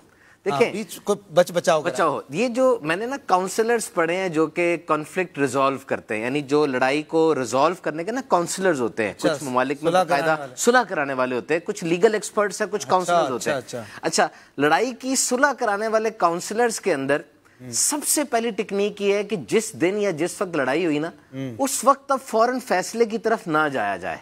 अच्छा। उसको दो तीन दिन दिए जाए दिया। और फिर उसके बाद जब वो उनको बिठाया जाए तो वहाँ पर माहौल ऐसा रखा जाए उनसे बात की जाए उनको पहले अच्छे माहौल में रखा जाए और फिर उनको कुछ ऐसा दे के उनकी क्योंकि वो जो मैंने आपसे बात की है इंसान और वो हार्मोन्स हैं जो उसको केमिकल जब खत्म हो गए तो उसको फिर रियलिटी नज़र रियलिटी नज़र आएगी उसको अपने किए का जो अंदाज़ा होगा जैसे होगा उस माहौल को डिफ्यूज करें। उस माहौल से सख्ती को निकालें और उस माहौल के अंदर नरमी को लेकर आए। मिसाल के तौर पे बच्चा है। सबसे पहले तो बच्चा कितने इंटरवल से गुस्सा कर रहा है? ये एक बहुत अहम बात है। हमारे माशरे में ओवरऑल टॉलरेंस और बर्दाश्त लेवल कम हो गया है। जी जी। ये तहकीक है। ओवरऑल अब लोगों का टेम्पर बड़ी जल्दी लूज होने लग गया है। जी पहले लोग ठहर जाते थे संभल के बात करते थे अब आवाज़ें भी ऊँची हो गई हैं। हाँ। और आवाज़ें ऊँची होने के साथ रिस्पॉन्स भी जल्दी आने लग गया है। सोशल मीडिया की कसरत है। मोबाइल फ़ोन को देखते हुए मुफ्ती साहब एक ये तहकीक देखें एक बंदे की आँख जो है वो एक मिनट में पंद्रह दफ़ा झपकनी चाहिए। दिस इज़ नेचुरल ये नेचुरल है। और पंद्रह दफ़ा झपकने से उसकी आँख में लुब्रिकेशन भी रहती है गीलापन भी रहता है और उसका दिमाग उसको रेस्ट भी मिलता रहता है। मोबाइल फ़ोन देखने वाला एक मिनट में पंद्रह दफ़ा नहीं झपक रहा। अच्छा? वो कम झपक रहा है। क्यों? मोबाइल पे नज़र है उसकी। और जब ये आँख झपकना उसकी कम हो जाती है क्योंकि जारी बात है वो तो खुबा हुआ उसके अंदर एवरेज सात छह भी हो जाती है सात छह दफ़ा झपक रहा है सिर्फ़। नुकसानदेह नुकसानदेह होता है और उससे उसका टॉलरेंस लेवल रिलीज़ हो जाता है। क्योंकि दिमाग जो है अपने बनाए हुए कचरे में डूब जाता है जब इस तरह की बातें नहीं होती। आप क्या समझ रहे हैं? आपका दिल धड़क रहा है तो रेस्ट नहीं ले रहा ये। पहले ये थ्योरी थी कि दिल जी रेस्ट नहीं लेता मरते दम तक धड़कता रहता है। ना ना। जब आपका दिल धड़क रहा है उस वक्त ये माइनर सा रुक भी रहा है ना फिर धड़कता है फिर धड़कता है। ये जितना रुक रहा है ये रेस्ट है उसका। आँखों का रेस्ट भी है। आपको नींद पूरी नहीं मिलेगी। आप कैसे कह सकते हैं वो गुस्सा नहीं आएगा? आप पूरी नींद के बगैर जाएँ अपने ऑफ़िस फैसले करके देखें अगले दिन। देखिएगा चिड़चिड़ा रहेगा। तो ये आपको उस मामले को डिफ्यूज करना होगा। वहाँ से सख्ती को निकाल के नरमी को एंटर करना होगा। आखिरी बात करके अपने इस कलाम को खत्म करता हूँ। ये याद क्यों कहते हैं हर बार? तो ये- आप वैसे पूरी कर लिया करे दिमाग में रखा करें। सही है। इधर ही मैं आज तो नहीं आएगा कोई गुस्सा नहीं। अच्छा। ये याद रखें अहम तरीन बात है ये। अहम तरीन। मैं अपनी जात में इस बात को लेकर आया हूँ जब से मैंने पढ़ी है ये। जी जी बिल्कुल। देखें इशफाक भाई मैं और आप गुफ्तगू करने लगे हैं। जी। ठीक है? मेरी गुफ्तगू करना ये मेरी ज़िम्मेदारी है। आपका जवाब देना ये आपकी ज़िम्मेदारी है मेरी ज़िम्मेदारी नहीं है। मैं आपसे बात करता हूँ मेरी उस बात में कितना गुस्सा है कितनी सख्ती है कितनी नरमी है ये सब कुछ मेरी ज़िम्मेदारी में आता है। आप उसका जवाब जो देते हैं वो आपकी ज़िम्मेदारी है। बिल्कुल। अगर मैं अपने कलाम को आपकी गुफ्तु की वजह से चेंज करता हूँ बार बार तो फिर तो मैं आपके कंट्रोल में आ गया ना। सही। किश्ती जो है वो हवाओं के बल पे नहीं चलनी वो मल्लाह के बल पे चलनी है। अगर वो हवा के बल पे चलेगी तो कहाँ जाएगी? सही। हमने अपना मौकिफ बयान करना है। अपना मौकिफ बयान करने के बाद आपका मौकिफ सुनना है। आपका मौकिफ आपकी ज़िम्मेदारी है। उस पर गुस्से में आना या आपके मौकिफ को सुन के चेंज कर लेना अपने आप को। इसका मतलब तो मैं आपके कंट्रोल में आ गया। मेरा मौकिफ अगर ठीक है मैं अपना आप एक्सप्रेस करूँगा आपको। आप अपना मौकफ मुझे बयान करेंगे। यहाँ पर विन विन सिचुएशन होती है। अगर इशफाक भाई का मौकफ कुछ और है सुबान का कुछ और है मेरा विन है आपका विन है। हम दोनों जब मुजाकरात खत्म करेंगे हम दोनों के पास कुछ ना कुछ आ चुका है। वरना आप लूज है मैं विन हूँ। मैं चाहूँ कि आप हार जाए मैं जीतूं या आप जीते मैं हारूं। ये विन लूज लूज विन ये नहीं होता। विन विन सिचुएशन एक दूसरे की बात को समझना दूसरों की बात को समझे और हर तरह से बेहतर। माशाल्लाह मुनिम भाई को गुस्सा नहीं आ जाए कि भाई मेरे से तो कोई बात ही नहीं की अब तक एक भी बात ये नहीं कर कर सके हैं तो क्या कहते हैं भाई गुस्से पे आप भी कोई मदनी फूल दे दें। माशाल्लाह वैसे इनको आता नहीं है गुस्सा मैंने देखा है। और माशाल्लाह मौलाना अब्दुल हबीब अत्तारी साहब भी आ चुके हैं। तो हम इनसे भी सीखेंगे कि गुस्से का इलाज क्या है नुकसान क्या हैं आपकी कॉल्स भी लेना बाकी है। जी, कुछ आप मदनी फूल दे दें, हुजूर। गुस्से के हवाले से चंद बातें अर्ज़ करूँगा। सबसे पहले हुजूर नबी करीम सल्लल्लाहु अलैहि वसल्लम की वो हदीस पाक बुखारी शरीफ के अंदर मौजूद है। आका सलाम ने इरशाद फरमाया, पहलवान वो नहीं है कि जो इतना ताकतवर हो कि सामने वाले को पिछाड़ दे, बल्कि पहलवान वो है जो गुस्से की हालत में अपने आप को काबू में रखे। और इसी तरह आका सलाम का वो फरमान के जहन्नम का एक दरवाज़ा है कि जिससे वो लोग गुजरेंगे, जिनका गुस्सा किसी गुनाह के बाद ठंडा होता है। यहाँ पर दोनों लोगों को गौर करने की ज़रूरत है कि जो बंदा गुस्सा कर रहा है यानी गुस्सा करते वक्त अपने आप को कंट्रोल में नहीं रख रहा वो गौर करे कि आका सलाम की ये वईद के जहन्नम का एक दरवाज़ा जिससे वो बंदा गुजरेगा कि जो जिसका गुस्सा जो है वो अल्लाह तबारक वाली की नाराज़गी के बाद ही ठंडा होता है। ज़ाहिर सी बात है जो अपने बंदा अपने गुस्से का गलत इस्तेमाल करेगा ज़ाहिर सी बात है वो अल्लाह तबारक वाली की नाफरमानी भी करेगा।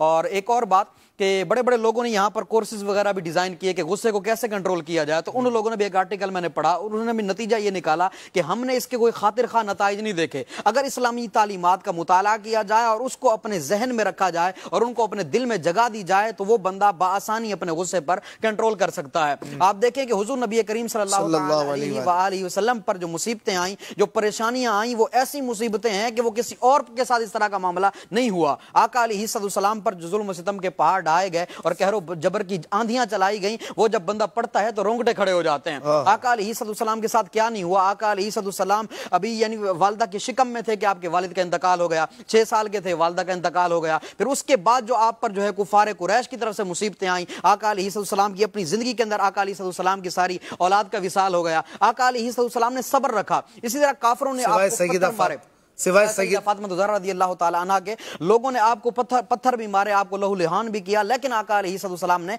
बर्दाश्त किया। हत्या कि आका सलाम के पास इख्तियार भी था। आपके पास फरिश्ते आ जाया करते थे या रसूलुल्लाह आप हुक्म फरमाएँ। लेकिन आका सलाम ने बर्दाश्त किया सब्र किया। ये आका सलाम की पूरी ज़िंदगी है। हम अकाबिर का तर्ज ज़िंदगी देखते हैं। इमाम आज़म अबू हनीफा रदी अल्लाह तु आप रदी अल्लाह तु को एक बंदे ने थप्पड़ मार दिया। आप चाहते तो आप बहुत कुछ कर सकते थे लेकिन आप आप रदी अल्लाह तु ने गुस्से पर काबू किया। अच्छा। बंदे को क्या इरशा फरमाया? अगर कल बरोजे कयामत रब ने अबू हनीफा को कोई मकाम दिया और अल्लाह की रहमत से मुझे जन्नत नसीब हुई तो तुझे भी अपने साथ ले जाऊँगा।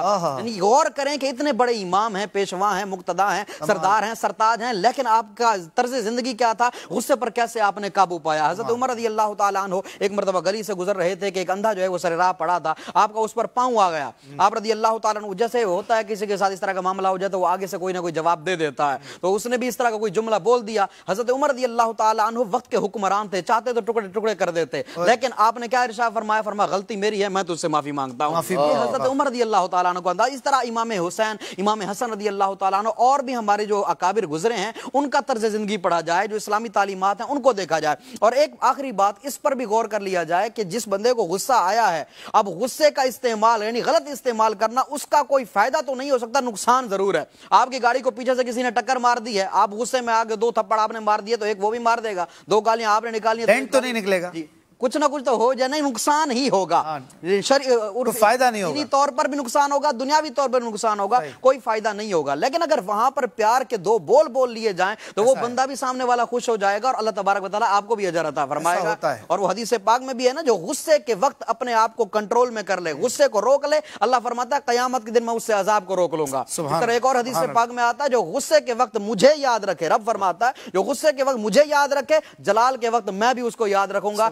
अजाब देने वालों को जब मैं अजाब दूँगा तो उसको अजाब नहीं दूँगा। सुबहान अल्लाह सुबहान अल्लाह और एक हदीस पाक में फरमाया कि जहन्नम का एक दरवाज़ा है जिससे वही लोग दाखिल होंगे कि जिनका गुस्सा किसी गुनाह के बाद ठंडा होता है। तो आज भी दुनिया में भी अब्दुल हबीब भाई हम देखते हैं बाज लोग बल्कि कई लोग जेल में सिर्फ़ इसीलिए होते हैं किसी सजा की वजह से अंदर वो बेचारे कैद में होते हैं कि गुस्से की वजह से वो काम उन्होंने किया।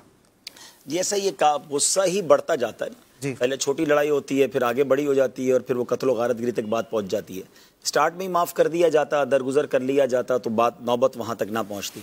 घर टूट जाते हैं रिश्तेदारियाँ टूट जाती हैं दोस्तियाँ ख़त्म हो जाती हैं। गुस्से में बंदा कोई ऐसी बात कह देता है या कोई ऐसा अमल कर डालता है तो वाकई गुस्सा बहुत ज़्यादा है। माशरे में ऐसा लगता है रेडी टू फाइट वो ऐसा लगता है कि हर दूसरा आदमी तैयार है लड़ने के लिए मौका चाहिए लड़ने का। और ये नहीं होना चाहिए। और बाज़ अवत इसमें भी कैटेगरीज हैं। गुस्सा नॉर्मली उस पर ज़्यादा आता है या हम उस पर ज़्यादा अमल करते हैं गुस्से पर जो बेचारा गरीब या हमसे कमतर आदमी होता है। जो। हमारा बिगाड़ कुछ नहीं सकता। बड़े आदमी पर गुस्सा आ जाए बंदा कहता है चलो मैंने माफ़ किया। तो पता है कुछ कर तो सकते नहीं तो क्या माफ़ किया? कमाल तो ये कि आप जिस पे कुदरत रखते हैं उसे माफ़ करें। बदला लेने की आपके पास अथॉरिटी है। जी जी। फिर अल्लाह की रज़ा के लिए माफ़ करें। अब कमाल है। नबी पाक अलैहिस्सलाम के एक सहाबी हैं। उन्होंने उनके कोई गुलाम से गलती हुई होगी।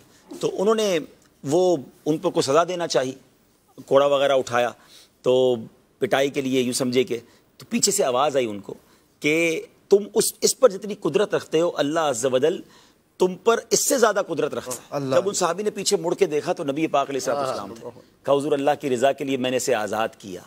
और नबी पाक अलैहिस्सलाम का वो जुमला नाजरीन के आका ने फरमाया अगर तुम ये ना करते तो तुम्हें दोजक की आग जलाती या फरमाया कि तुम्हें दोजक की आग छूती।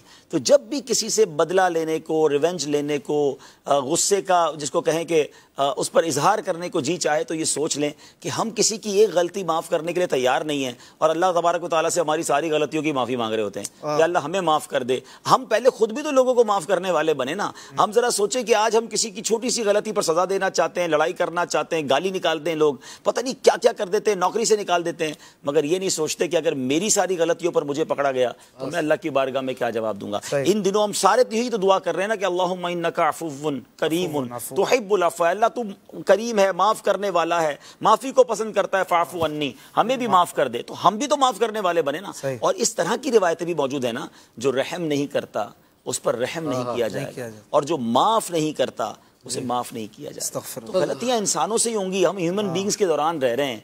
वहाँ गलतियाँ घर में भी होंगी बीवी से भी होंगी बच्चों से भी होंगी मुलाजमीन से भी होंगी। हर बात का बदला हर बात का रिप्लाई हर बात का जवाब ये नहीं होना चाहिए। आप माशाल्लाह मदनी चैनल के भी हेड हैं रुकन शूरा के तौर पर।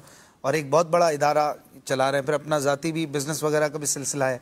वहाँ भी बैठते हैं। तो इदारती मामला में भी कई ख़ताएँ गलतियाँ प्रॉब्लम्स मसाइल फेस करते होंगे।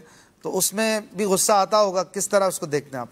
देखिए, अगर कोई ये शख्स कहता है कि मुझे गुस्सा नहीं आता तो शायद वो ठीक नहीं कहता। गुस्सा तो हमारी फितरत में है। अब गुस्से को काबू करने पर तो सवाब है ना। गुस्सा ही ना आए तो फिर सवाब कहाँ से मिलेगा? अगर गुस्सा आए और बंदा उसको कंट्रोल कर ले या उसका प्रॉपर यूजेज करे। तो इसमें यकीनन इंसान को जज्बाती नहीं होना चाहिए। कुछ सीखा है अपनी ज़िंदगी में कि आप किसी भी ऐसी नागवार बात, जो आपको नागवार गुजरी है, और बड़ा जी चाह रहा है रिप्लाई देने को, थोड़ा सा रुक जाएँ। यानी आपको किसी को जी चाह रहा है यार इसने जो मेरे बारे में बात की ना इसको ज़बरदस्त जवाब दूँगा। आप थोड़ा गैप ले आए इसमें। छह घंटे का गैप ले लें बारह घंटे का थोड़ा एक, सोच लें। एक घंटे एक दिन का गैप ले ले तो मदीना मदीना हो जाएगा। अच्छा। अच्छा उसको रिप्लाई देना है ना आपको सबर नहीं आ रहा कि यार इसने ऐसी बात की मैं जवाब नहीं दूँ। व्हाट्सअप करूँ व्हाट्सअप अभी करूँ फ़ौरन। आप सिर्फ़ गैप ले आए अपनी साथ में। सही। और अगर आप एक दिन का गैप ले आए ना आप अगले दिन जो उसको जवाब देंगे ना वो इतना नपातुला होगा इतना नरम होगा। वो जो आप उस वक्त रिप्लाई देते ना। क्योंकि आप अगर गौर करें यहाँ मैं एक और मशवरा भी दूँगा व्हाट्सएप पर तो रिप्लाई दें ही ना। अच्छा हाँ। ये हमेशा याद रखें जब किसी पर गुस्सा आ भी रहा है ना तो आप अव्वल तो देर से रिप्लाई दें और अगर नहीं सबर हो रहा तो कम से कम व्हाट्सएप पर ना दें क्योंकि ये ज़िंदगी भर उसे मिल, आपका सबूत मिल गया। हाँ, यानी आपने बाद में माफ़ी भी मांग ली आपने दोस्ती भी कर ली लेकिन जब भी वो वो मैसेज सुनेगा ना यार ये बोला था मुझे इस तरह बात की थी मुझसे। वो फिर उसको रिवेंज की फिर अल्लाह ना करे बदगुमानी की कैफियत होगी। तो अगर गुस्से का इजहार करना है अव्वल तो ना करें। लेकिन आप अगर वाकई किसी आप समझते हैं यार ये मैं इसको इसलिए बता रहा हूँ किसी इसलाह करनी है। हाँ। तो इसलाह भी आप या तो मुलाकात से करें या कॉल पे करें। आप रिकॉर्डेड कोई चीज़ सबूत ना दें वो सबूत से मुराद ये है कि वो उसके पास सेव हो जाएगा। बाद में आप भी सुनेंगे तो आपको शर्मिंदगी होगी यार मैंने क्या कह दिया था? ऐसे कहना चाहिए था मुझे। तो अपने अपने रिप्लाई में टाइम ले आए ब्रेक ले आए। सबसे बेहतरीन तरीका ये कि आपको किसी ने कोई बात कही कोई मैसेज आया और आपको जी चाह रहा मैं उसको सुनाऊं जवाब दूँ। आप वज़ू करें दो रकत नफल पढ़ लें। उसके बाद बेशक आप जवाब दे दें। अच्छा। आप देखें आपका वो जवाब पहले फिफ्टी परसेंट नॉर्मल हो चुका होगा। आप अपने अपना कम से कम ये उसूल तो बना लें चले ज़्यादा सबर नहीं हो रहा सिर्फ़ वज़ू कर लें।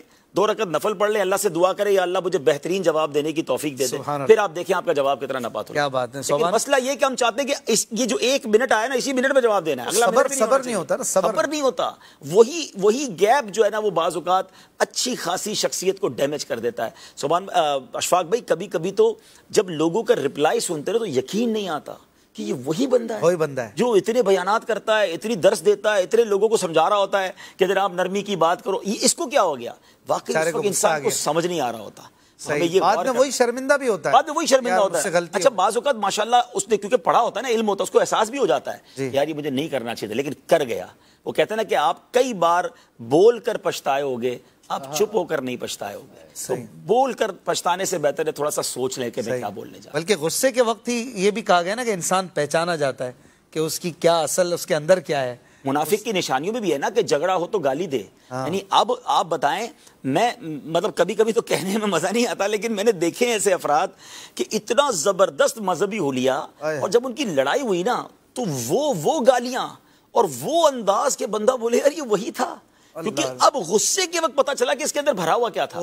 देखिए आप अंदर जो होता है ना वही निकलता है ना। निकलता। अब जब आपके अंदर है ही बुरी बातें तो गुस्से में निकल आएँगी। शरीफ आदमी बेचारा गुस्से में भी रोना लग जाता है यार माफ़ कर दो नहीं करो मेरे साथ क्यों ऐसा कर रहे हो यार? वो ये कह रहा होता है कि ना सताओ मुझे यार ना तंग करो। लेकिन गाली नहीं निकलती क्योंकि उसने अंदर डाली ही नहीं ये चीज़ें। अब आपने इनपुट क्या रखा है जो गुस्से के वक्त बाहर निकलता है। इस पर गौर करें। गुस्सा वो एनेस्थेजिया में कहते हैं ना वो अंदर से बातें हाँ, निकलती हैं। हाँ, वो वही गुस्सा भी इसी तरह का ऐसा ही है बंदे को माउफ कर देता है। उसका जो असल होता है ना वो बाहर निकल आता आता है। अच्छा एक और बात यहाँ अर्ज़ कर दूँ माशाल्लाह बहुत सारी बातें हुई होंगी कि लोग कहते हैं कि यार अखलाक जो है ना ये तो बड़ा बा अखलाक है। भाई अखलाक का टेस्ट और पहचान ही जब होगी कि जब आपके मिजाज के खिलाफ बात हो अब सोबान भाई मुझसे मुस्कुरा के मिल रहे हैं मैं भी मुस्कुरा रहा हूँ। इन्होंने मुझे कोई तोहफा दिया मैंने भी इतर का तोहफा दिया। क्या कमाल किया? कोई ऐसी ये बात करें जो मेरे मिजाज के खिलाफ है मुझे गुस्सा दिलाने वाली है मेरी मेरी डिसोबीडियंस ही है।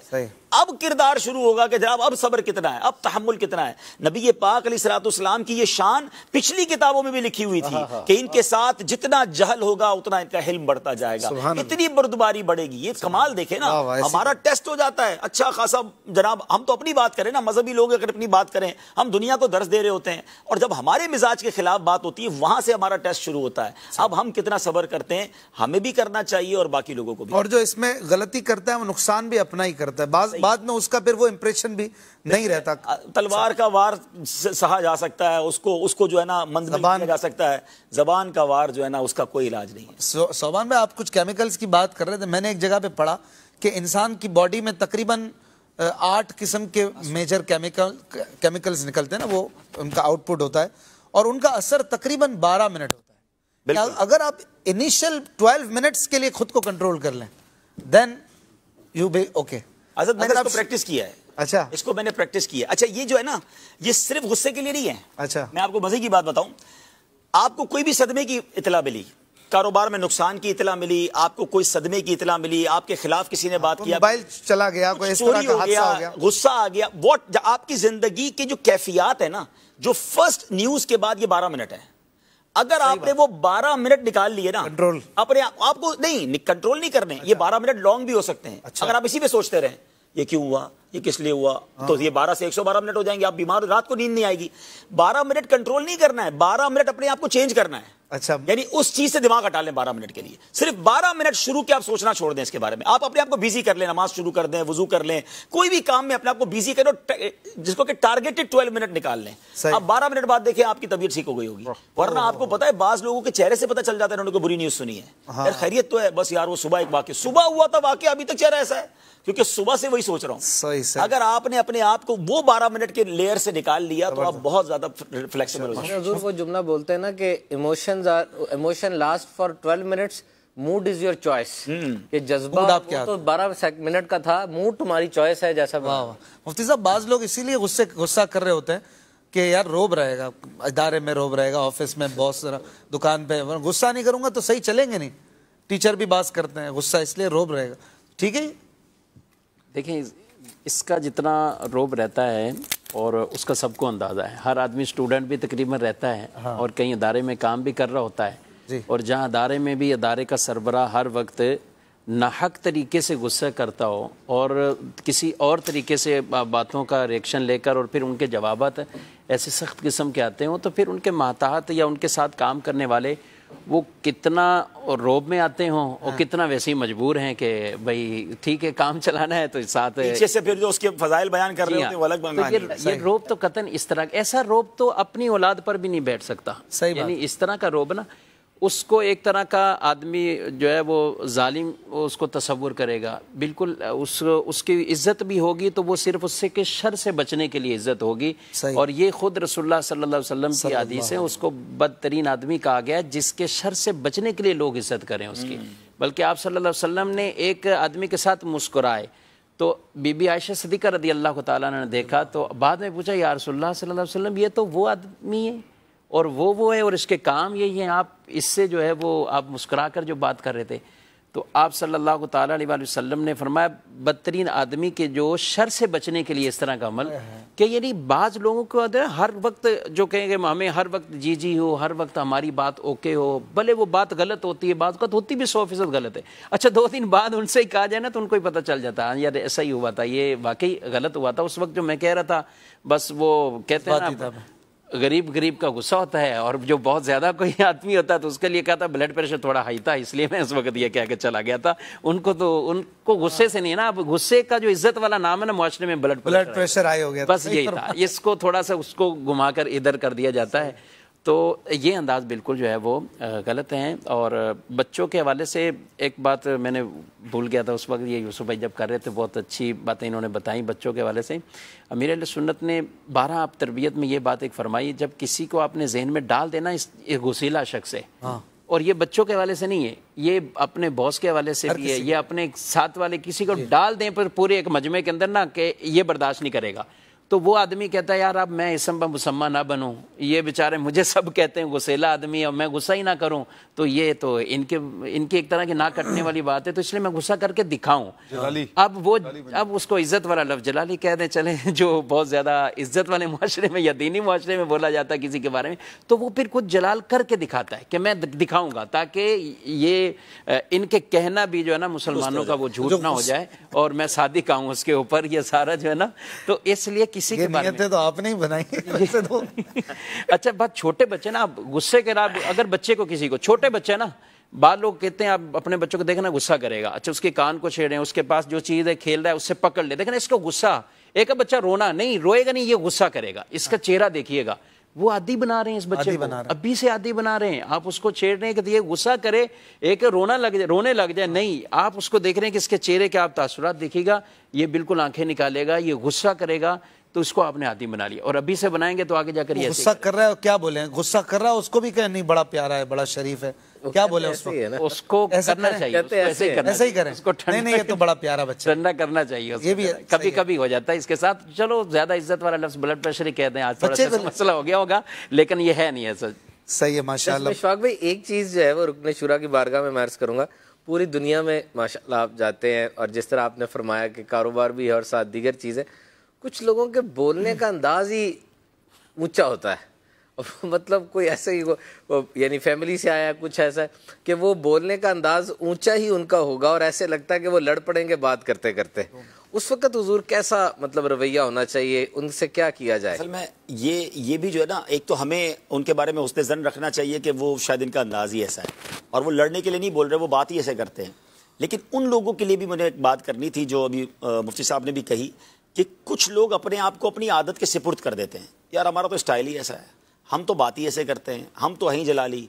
तो ये नहीं होना चाहिए। वो बड़ा प्यारा जुमला किताबों में लिखा है ना कि मिजाज जो है ना वो रंग और कद नहीं है जो बदला ना जा सके। आपका रंग नहीं बदल सकता। आप आप अफ्रीका ने आपका मैं गोरा हो जाऊँ मैं लंबा हूँ छोटा हो जाऊँ ये नहीं हो सकता। लेकिन मिजाज बदला जा सकता है। बिल्कुल। अल बित्तहल्लुम। इल्म सीखने से आता है और हिल्म अपनाने से आता है। आप सोहबत इख्तियार करें कि जो अच्छा अब मिसाल के तौर पे लोग कहते हैं मिजाज नहीं बदल सकता। भाई हम तो शुरू से ही ऐसे हैं। भाई आप दावत इस्लामी की मिसाल ने लड़ने झगड़ने वाले मस्जिद के इमाम बना दिए। कैसे कैसे जनाब लोग थे? तुर्रम खान कहलाते थे अपने इलाके के। आज वो नरमी से बात करने वाले दीन के दाई बन गए। खुद इस्लाम ने इसकी मिसालें कायम की साहबा कराम की मिसालें देखें तो तब्दीली आती है मिजाज में। तो हमें ये अपने आप को मिजाज के हवाले ना कर दें। अच्छा जो ये कहना शुरू कर देता ना यार मैं तो हूँ सुस्त। वो फिर हो गया सुस्त। मैं हुई जलाली तो वो लड़ता ही रहेगा। आप कहें कि मैं ये नहीं हूँ मैं इंशाल्लाह बन के दिखाऊँगा मैं नरमी लाऊँगा अपने अंदर चैलेंज लें। और जिस शॉर्ट कमिंग को आपने नोटिफाई कर लिया कि मेरे अंदर ये कमी है मैंने ये बदलना है तो अल्हम्दुलिल्लाह आप बदल सकते हैं। बदल सकते हाँ। आप नर्म होना चाहते हैं नरम लोगों के साथ बैठना शुरू कर दें। आपको अंदाज़ा हो जाएगा कि यार ये किस तरह बात करते हैं कैसे मुस्कुराते हैं कैसे डीलिंग करते हैं। आपको भी सीखने को मिलता है। आप सीखना ही नहीं चाहते। आप चाहते जो मैं हूँ वही रहूँ तो फिर तुम्हारी मर्ज़ी है। ज़बरदस्त। ज़िंदगी को बदलने वाली बातें आज हमने सुनी हैं। अगर कोई चाहे तो बहुत ज़बरदस्त अपनी ज़िंदगी को सीधे रास्ते पर ला सकता है। दुनियावी फ़वाद भी मिलेंगे दीनी फ़वाद भी मिलेंगे। अल्लाह अमल की तौफीक दे कुछ कॉल्स भी शामिल करेंगे। इससे पहले हमारा सेगमेंट ले लेते हैं तहजीब अखलाक।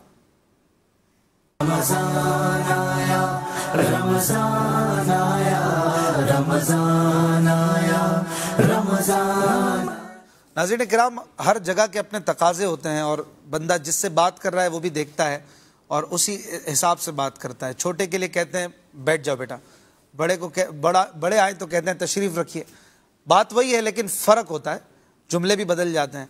तो कुछ ऐसी बद तहजीबियाँ भी हैं बद अखलाकियाँ हैं, जो बड़ों के सामने, चाहे वो वालदेन हों या टीचर्स हों या पीर मुर्शिद हों या बड़े बुज़ुर्ग मशाइ कराम कराम इनके सामने भी हमसे सरजद होती हैं तो वो क्या हैं? कुछ इस पर हम आज बात करेंगे। सबसे पहले यूसुफ मदनी भाई कुछ आप बताएँ? कोई पॉइंट इस हवाले से। बड़ों के सामने बड़ों के सामने बद अखलाकी। बद अखलाकी। इमाम बुखारी रहमत बुज़ुर्गों का तो अपना एक अंदाज है वो अब उसको बद तहजीबी समझते हैं बाज़ अवत एक तो माशरती एतबार से समझा जा रहा था। इमाम बुखारी रहमत के बारे में तो मैंने यहाँ तक पढ़ा कि आप अपने उस्ताद साहब के सामने किताब भी इतना ज़्यादा जो है वो एहतियात से खोला करते थे जिसकी आवाज़ भी जो है वो सफ़े की भी आवाज़ ना है सफ़ा पलटने की भी आवाज़ ना है सुबह तो बुजुर्गान दीन के सामने कोशिश करनी चाहिए कि इंसान आपस में गुफ्तु ना करे या अपनी आवाज़ को धीमा रखे। ज़ोर ज़ोर से बोलना जो है एक बतेजी में बदतेजीबी में आता है। साहब कराम रिदवान ने भी हमें यही सिखाया अका सलाम की खिदमत में बैठते थे।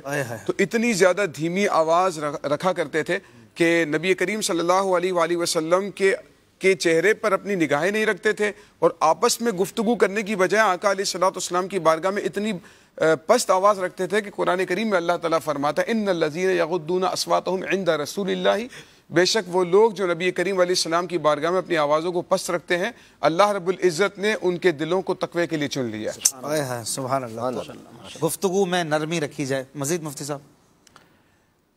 देखें आदब आदाब का ख्याल उस वक्त तो रखा जाता है आमतौर पे इस के साथ हो या वालदेन के साथ भी जबकि हम उनके मोहताज होते हैं किसी हवाले से भी। लेकिन जब आदमी ख़ुद थोड़ा सा कुछ स्ट्रॉन्ग हो जाए या अपनी फ़ील्ड भी चेंज करे तो अब इस के हवाले से भी उसकी राय थोड़ी सी तब्दील हो जाती है। या वालदेन के मोहताज नहीं है कि खुद वालदेन पर खर्च करने वाला जब आदमी बन जाता है एक तरह का। या सादत की बात है लेकिन उस वक्त वो अपने आप को वो नहीं समझता कि वो अदब नहीं करता। वो अदब के दायरे में नहीं रहता और फिर उस वक्त बोलने के उस वक्त लहजे के बाज़ात ऐसे सुनाई देते हैं कि वालदेन कहते हैं बच्चों से डर लगता है फलां बच्चे से डर लगता है उससे डर लगता है वो बहुत चिल्लाएगा बहुत चीखेगा डांटेगा। वालदेन की ज़बानी सुना हुआ कि ये फलां डांटेगा आकर हम्म। ऐसा कहेगा। तो इसलिए आदमी इस पोजीशन में कभी भी नहीं आना चाहिए। जो कुछ है वालदेन का सदका है आपके इस का सदका है लेकिन ये किरदार और ये अंदाज़ कभी भी नहीं होना चाहिए। आप वहाँ हैं या आप दर्जे में कहीं भी चले गए ज़ाहिर कई इस होते हैं वो टीचिंग की फ़ील्ड से रहते हैं वो अपनी जगह पर रहते हैं उनसे पढ़े हुए बाज़ात उस मनसब में भी आगे चले जाते हैं जी, जी, जी। उनसे पढ़े हुए फ़ील्ड में भी कोई आगे चले जाते हैं लेकिन अब उसके बाद ये जो आदाब वाले अंदाज हैं वो फिर मुख्तलिफ़ नहीं होने चाहिए, होने चाहिए। अब एक आदमी मदरसे में पढ़ा हुआ कारी साहब से पढ़ा है ठीक है? हाँ। अब कारी साहब से वो पढ़ा और उसके बाद वो कई आलिम कोर्स में आ गया कोई इसके बाद आगे चला गया और आगे बढ़ता गया। जी, जी। कारी साहब अपनी जगह कारी साहब है। लेकिन वो जिन्होंने उस वक्त जब इसकी तोतली जबान थी उस वक्त अलीबा पढ़ना सिखाया था तो उसके एहसान भूल भूलना नहीं चाहिए। नहीं खूबसूरत बहुत प्यारी इसके साथ अपने जाम शराइ पीर साहब हैं या इमाम साहब हैं पीर साहब के सामने तो खाली बर्तन लेके बैठना चाहिए अपने आप को चाहे किस मनसब भी हो जाए। कुछ भी हो जाए हाँ। तो वहाँ ऐसे ही जाके हाजिर हो तो ही कुछ बरकत हासिल होंगी वरना खुद कह लिया कि मैं बहुत कुछ बन गया हूँ तो इसको अभी दोबारा बनने की ज़रूरत है। बाज लोग इमाम साहब से बड़ी जरा वो तू तुकार और कुछ ना कुछ बाज़ कर रहे होते हैं मस्जिद में भी कुछ डोमिनेटिंग स्टाइल होता है। इमाम साहब से भी अच्छे अंदाज में मिलना चाहिए। ये भी बड़े हैं बुज़ुर्ग हैं। जी बिल्कुल ऐसा होता है। इमाम साहब से कर रहे होते हैं हमें ज़्यादा तजर्बा हमसे लोगों ने कुछ कहलवाना होता है कि आप कह दें हाँ ये ठीक है। हाँ। और वो सनद बना के जाएँगे। अब उसके लिए हमें बहुत तहमुल चाहिए हमें सबर करना चाहिए और उनको भी थोड़ा सा हाँ, बाज लोग आते कहते हैं आप ये समझाते नहीं है लोगों को। आप ये नहीं कहते लोगों को यहाँ चप्पल लग देते हैं यहाँ ये कर देते हैं यहाँ बैठ जाते तो वो कह चाह रहे होते हैं कि समझाया जाए माइक के ज़रिए। बट वो ऐसा इस तरह फरमाइश करते हैं कि गुस्सा आए कि यार किस तरह बात कर रहा है। तो ऐसा भी नहीं होना चाहिए। अदब से आप रिक्वेस्ट करें कि हज़रत कभी मौका मिले तो ये बाज औकात समझा रहे होते हैं इमाम साहब लेकिन वो हर बयान थोड़ी सुनते हैं। आज से पंद्रह साल की पहले बात है इसलिए कोई किसी के लिए खास नहीं होगी तो वर्ष कर देता हूँ। मुझे भी कोई एक लग गया था मेरे पीछे यार आप ये आज मैंने जिसके साथ नमाज़ पढ़ी है तो वो ये गलती कर रहा था। अब आपने बताया ही नहीं तो ये गलती वो कैसे सही करेगा? अच्छा आज जिसके साथ आज जिसके साथ बिला मुबालगा के दिन में पाँच दफ़ा आदमी आए कि ये आज जिसके साथ नमाज़ पढ़ी है तो आप क्यों नहीं ये नमाज़ का दब ये वाला बता रहे हैं? मैंने ठीक है। फिर मैंने तैयार किया कि आप कल से सबको दावत देना है कि भाई आप इमाम साहब नमाज़ का ये अदाब बयान करेंगे और इस दिन ये होगा। तो ठीक है तो वो सबको बताता हुआ फिर रहा था आदमी। मुझे लगता है इंतकाल हो गया, अल्लाह बख्शिश फरमाए। तब सबको बताया कि आज दर्स होगा तो फिर मैंने आगाज़ ये शुरू किया इस बात से कि जब नमाज़ पढ़ें तो इसका अदब ये है कि आप अपनी नमाज़ पढ़ें। तो उसका पहला अदब। नहीं सुना सबसे पहले उसी को सिखाया आपने। कि आप अपनी नमाज़ पढ़े। आप नमाज़ के दौरान क्यों आप दूसरे की गलतियाँ देख रहे हैं? हाँ। इस वक्त तो अभी ही आपको अपनी नमाज़ पढ़नी है अल्लाह की बारगाह में पेश करें। फिर जिमनन वो बातें की हैं। बस ये मेरा करना था तो उसके बाद कई नमाजियों ने मेरा शुक्रिया अदा किया। बहुत अच्छी बात। हम तो हर नमाज़ के बाद की इस्लाह सुनते थे आज के बाद वो सिलसिला मौकूफ हो गया। दर्द सर बन गया था जी सोबान भाई कोई पॉइंट देंगे? Mobile phone. मोबाइल फ़ोन जो है वो आजकल लोग अपने वालदेन के सामने क्लासरूम के अंदर निकालते हैं। वालदेन की बात नहीं सुनते और मोबाइल फ़ोन का यूज़ जो है वो वालदेन की तजहीक का बायस बनता है। और जब भी वालदेन की बारगाह में हाजिर हों बड़ी बारगाह में हाजिर हों अपने मोबाइल फ़ोन को बिल्कुल ही बिल्कुल उस वक्त यूज़ करें जब वाकई ज़रूरत है एमरजेंसी है।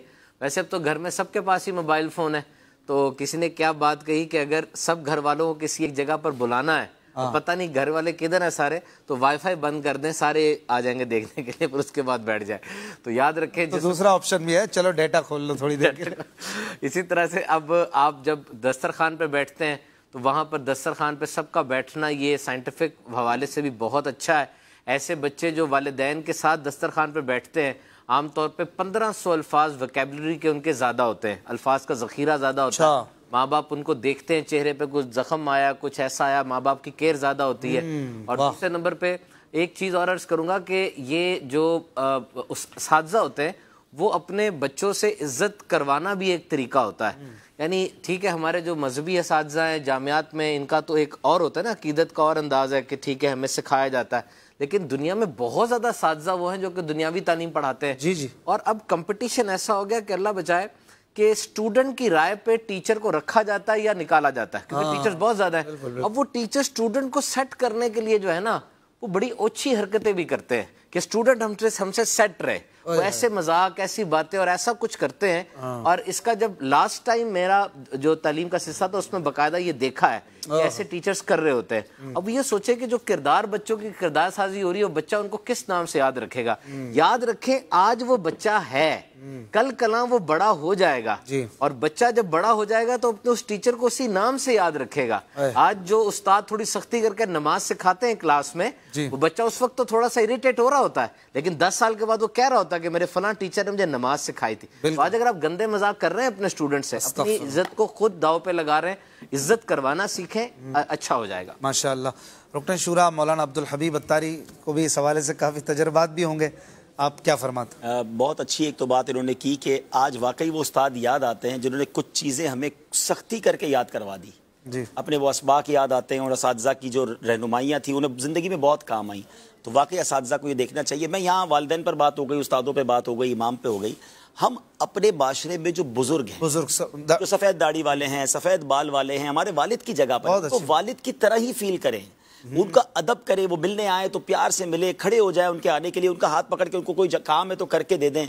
इनकी दुआएँ लें। और ये अदब बाअदब बंदे की पहचान है। अच्छा बाज़ औक़ात ऐसा होता है कि हमारे अपने गरीब रिश्तेदारों में या बाज़ औक़ात हमारे मुलाजमीन में हमसे बड़ी उम्र के लोग होते हैं सफ़ेद बालों वाले होते हैं वो ठीक है आपके मुलाजिम हैं वो ठीक है आपके गरीब रिश्तेदार हैं या बेचारा आपसे कोई मदद लेने आया है। लेकिन अगर वो सफ़ेद बालों वाला है तो अहदीस में भी ये मजमून मिलता है ना कि इनका इकराम करना है क्योंकि ये ये इस्लाम में बूढ़े हुए हैं तो हमें इनका अदब करना चाहिए और बा अदब बा नसीब बेअदब बदनसीब। जो किसी बुज़ुर्ग का बूढ़े का अदब करता है इकराम करता है तो जब वो बूढ़ा होगा तो उसके लिए अल्लाह अदब करने वाले इज़्ज़त करने वाले बना देगा। तो हर कोई चाहता है मैं जब बूढ़ा हूँ तो मेरी भी इज़्ज़त करें लोग। कुछ तरह की भी रिवायतें मिलती हैं वो हम में से नहीं जो अपने छोटों पर शफकत ना करें और अपने बड़ों का अदब ना करें। बिल्कुल, ये बड़े सिर्फ़ हमारे वालिदैन ही बड़े तो नहीं है ना। हमारे बाकी लोग भी बड़े हैं जो हमसे उम्र में बड़े हैं। सबका अदब करें। बहुत सारी बातें हैं तहजीब और अखलाक के हवाले से सीखने को अल्हम्दुलिल्लाह मिल रही हैं। आइए चलते हैं कुछ अशार नाज शरीफ के सुनते हैं। फिर आपकी कॉल्स शामिल करेंगे। अब्दुल हबीब भाई से इंशाल्लाह जवाब भी लेंगे। सल्लल्लाहु अला मोहम्मद सल्लल्लाहु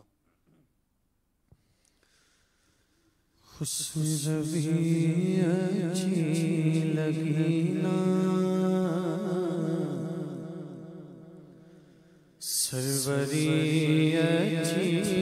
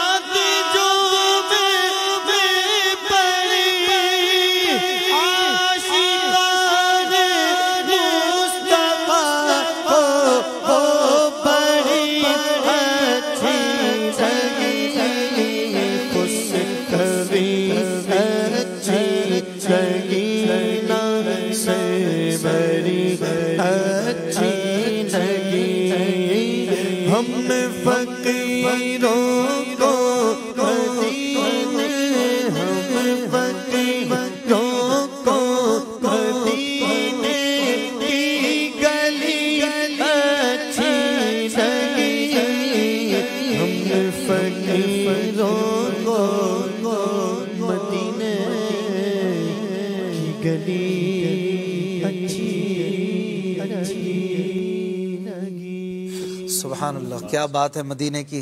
माशाल्लाह बड़ा खूबसूरत कलाम। बचपन से सुनते आ रहे हैं लेकिन ये इतना प्यारा कलाम है मदीने के हवाले से जब भी सुनते हैं ये इसकी अपनी इस कलाम हाँ इस कलाम का मैं आपको एक बात बताऊँ कि ये हिंद में भी बड़ा मशहूर है। अच्छा। मैं बात कर रहा हूँ आज से 25 साल पहले गालिबन नाइनटीज़ नाइन्टी वन में जब मैं गया था तो मैंने वहाँ महफिलों में सुना तो मुझे बड़ा अच्छा लगा कि देखे नियाजी साहब के भी मुकद्दर हैं कि वहाँ भी दुनिया के और मुल्कों में माशा खुसरवी का मतलब क्या है? यहाँ बादशाही ही कहेंगे इसको बादशाही अच्छी लगी नसरदारी अच्छी लगी बस बाका के दर की गदाई अच्छी लगी नबी पाक की चाकरी। ये गदा को भी जो है ना बस बाज लोग नहीं समझते नहीं है। एक बंदे ने मैसेज किया कि मुझे ये नात सुननी है और उसमें लिखा मैं गधा हूँ अपने करें गधा लिखा था। तो गधा जो है फारसी गुलाम का है हाँ। हाँ फारसी गुलाम के लिए। गुलाम के लिए। गधा और गधा इसमें बहुत फ़र्क है है। तो लोग इसमें नहीं समझते बेचारों की उर्दू कमज़ोर बहुत हो गई है ऐसा ही। नॉर्मल उर्दू में गदा यूज़ भी नहीं होता ना। जी नहीं होता। लेकिन गदा माना जो है शेर में जब आए इससे मुराद गुलाम हुआ करता है। कॉल दीजिए।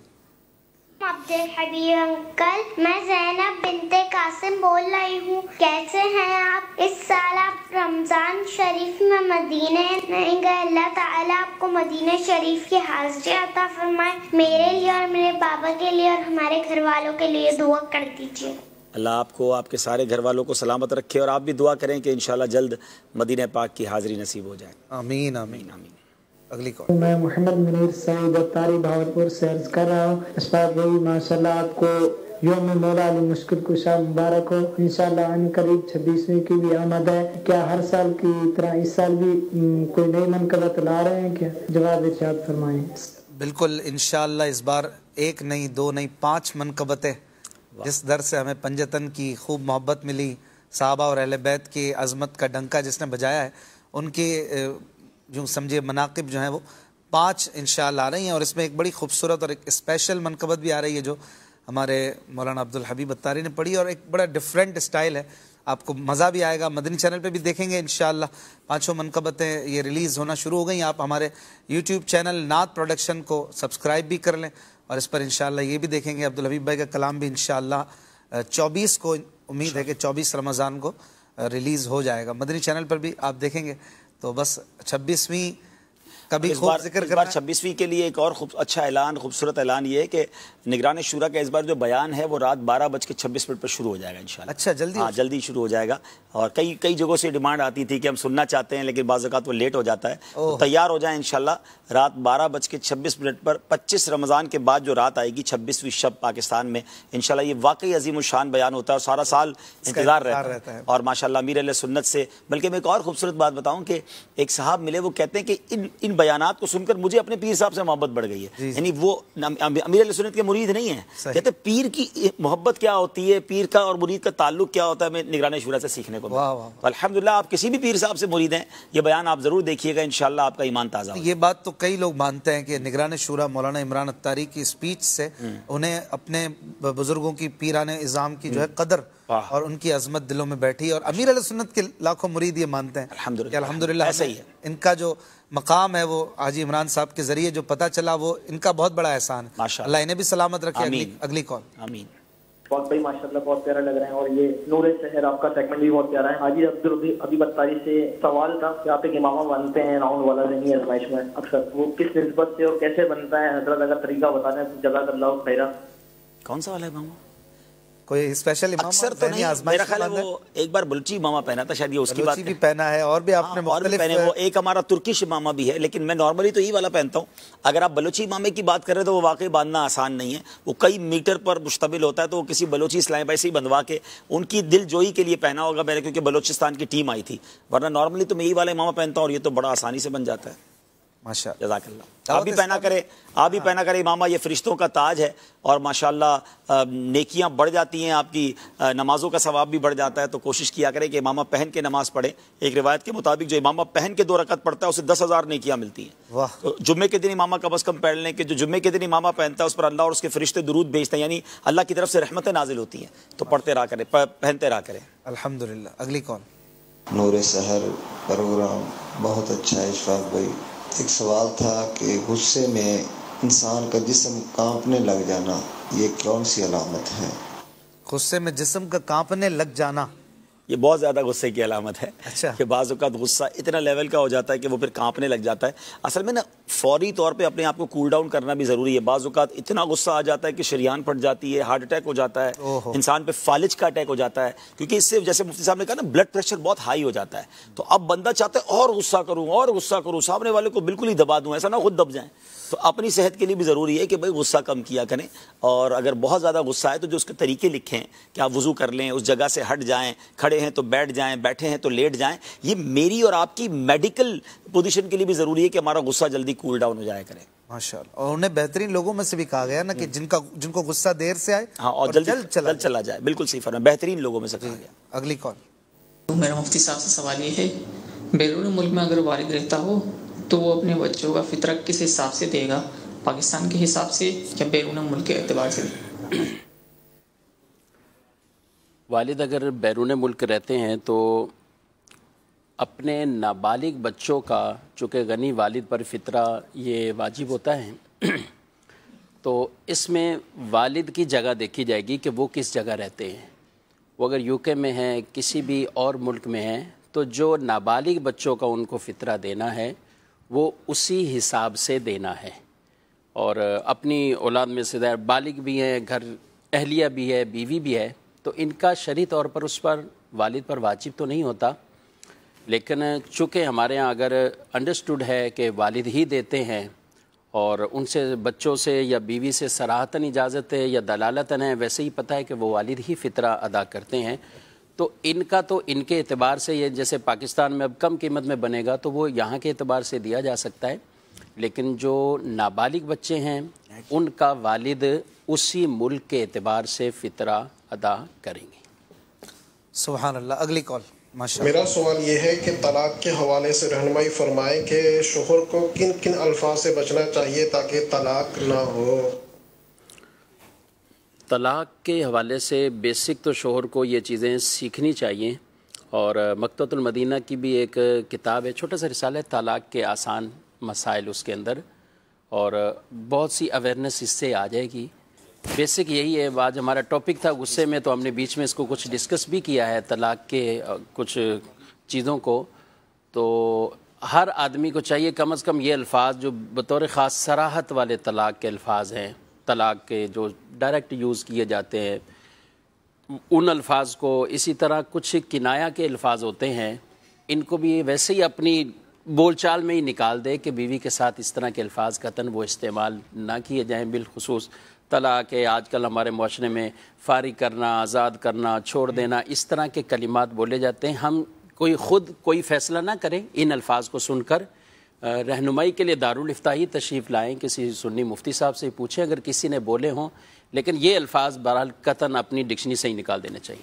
हाँ एक और ज़रा ज़रूरी ऐलान सुन लें कि छब्बीसवीं रात को जो अमीर सुन्नत की योम विलादत भी है शब विलादत भी है तो उस रात जो बाकायदा एक नशस्त होगी खसूसी छब्बीसवीं के हवाले से मदनी मुजाकरा भी होगा और उसके बाद बारह बज के छब्बीस मिनट में कमोबेश एक खसूसी नशस्त का आगाज़ हो जाएगा जिसमें इंशाल्लाह बहुत कुछ आप अमीर सुन्नत के बारे में सुनेंगे इन सुबहान अल्लाह माशा कॉल। वाक भाई, मुझे भी ना बहुत जल्दी गुस्सा आ जाता है, मालूम नहीं। बाद में जब मैं किसी से बात कर लेता हूँ, बाद में मेरे को दुख लगता है कि ये मैंने बात क्यों की? मेरे लिए थोड़ा गाइड में फरमा दे, मेरे को क्या करना चाहिए? बहुत जल्दी गुस्सा आता है अब्दुल भाई। देखिए, उसके लिए आपको प्रैक्टिस ही करनी पड़ेगी। पहले आप इसको एक बीमारी समझ लें, इसको एक प्रॉब्लम समझें। जब भी आपको कोई प्रॉब्लम होती है, आप उसका सॉल्यूशन ढूंढते हैं, उसका हल ढूंढते हैं। किसी को बुखार आता है तो ये नहीं कहता, मुझे पता नहीं क्यों बुखार आया मैं डॉक्टर के पास जाता है। तो आपको इस सिलसिले में कितने इलाज बताए गए? तो आप उस इलाज पर अमल करना शुरू करें और सबसे बेहतरीन इलाज दुआ है। आप अल्लाह से दुआ करें, या अल्लाह, मुझे नरम कर दे, मेरा गुस्सा कम हो जाए, मैं किसी को इस तरह ना डांट दिया करूँ। बाद में वाकई जैसा आपने कहा खुद भी शर्मिंदा हो रहे होते हैं। तो इसके बाकायदा किताबों में उलमा ने इसके इलाज लिखे ना। तो आप गुस्सा चूँकि एक तरह से शैतान की तरफ़ से शैतान आग से बनाया गया तो कहा गया वज़ू कर लें। वज़ू करेंगे तो आप अपने आप में बहुत फ़र्क महसूस करेंगे। और फिर जैसे कहा गया कि जिसके जिसके सामने गुस्सा आ रहा है उस जगह से चले जाएँ। खड़े हैं तो बैठ जाएँ बैठे हैं तो लेट जाएँ। यहाँ तक लिखा लेटे तो चिबट जाएँ ज़मीन से। तो इन क्योंकि ये खाक है ना ज़मीन इसके करीब हो जाएँगे तो इन आजी आ जाएगी अल्लाह ने चाह तो नरमी आ जाएगी। तो गुस्से का इलाज रिसाला है वो भी पढ़ लें। उस पर बेहतरीन अंदाज से हमें समझाया गया। इन बेहतर हो जाएगा। अमीर सुन्नत की जियारत भी हो रही है। और आखिरी अशरे की अजीम रातें हैं शहर का वक्त है। दुआओं की तरफ़ भी इन जाएँगे। कुछ ही देर में कबला शेख तरीक़त अमीर सुन्नत दुआ भी करवाएँगे। दुआ इबादत का मग़ज़ है और बड़ी प्यारी प्यारी दुआएँ आप मांगते हैं। मगफ़रत की खैरात मांगते हैं, जन्नत की सौगात मांगते हैं और क्या प्यारे प्यारे अंदाज में अल्फाज भी हमें सीखने को मिलते हैं। मांगना कैसे चाहिए? अल्हम्दुलिल्लाह तो अमीर सुन्नत की दुआओं में भी सीखने को मिलता है और ये दुआएँ हुस्न ज़न भी है अल्हम्दुलिल्लाह अल्लाह पाक के नेक बंदे हैं अल्लाह पाक के वली हैं इनकी दुआओं से हमारे लिए भी हिस्सा मिलता है इन कुछ देर में। दुआ का सिलसिला भी होगा। कराची में सहर का वक्त जो है सहरी का वक्त अख्ताम की तरफ़ है। इसका भी ध्यान रखते जाइए अपनी अपनी सहरी को अख्ताम की तरफ़ ले आइए। जी अमीर सुन्नत को बस माइक लग रहा है इन दुआ शुरू हो चुकी है। सल्लु अलल हबीब सल्लल्लाहु अला मुहम्मद। सल्लल्लाहु अलैहि व आलिहि रब्बिल आलमीन वस्सलातु वस्सलामु अला खातमिन नबिय्यीन या रब्बल मुस्तफ़ा जल्ल जलालुहु व सल्लल्लाहु तआला अलैहि व आलिहि वसल्लम। आज बाईसवें रोज़े की सहरी से फारिग होकर तेरी बारगाह में दुआ के लिए हाथ उठाए हैं। इलामीन सहरी के वक्त तो दुआ कबूल फरमाता है, ये हमने सुन रखा है इलामीन हमें दुआ मांगना नहीं आती, दुआ का सलीका नहीं आता। रब करीम सहरी कर ली है, अब रोज़ा भी आसानी से गुजरे, आफियत के साथ गुजरे और तेरी रज़ा के साय में गुजरे। या अल्लाह, माह रमज़ान का अक्सर हिस्सा गफलत में हमने गुजार दिया है। अब चंद रोज रह गए। इलाबीन करम फरमा दे। या अल्लाह मकबूलिन का सदका जो दिन गुजर गए, गफलतों के बावजूद अगर तू कबूल कर ले तो तेरी रहमत के ख़जाने में क्या कमी है?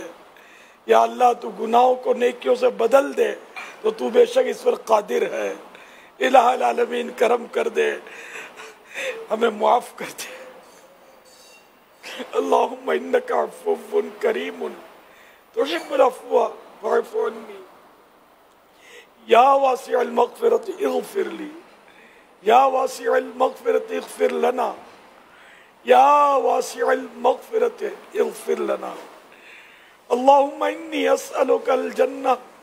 अल्लाहुम्मा इन्नी अस्अलुकल अल्लाहुम्मा इन्नी अस्अलुकल अल्लाहुम्मा अजिरनी मिनन अल्लाहुम्मा अजिरना मिनन नार।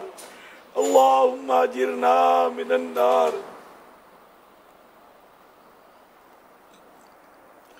या अल्लाह पाक, जहन्नम से आज़ादी दे, जहन्नम से आज़ादी का अशरा जारी है।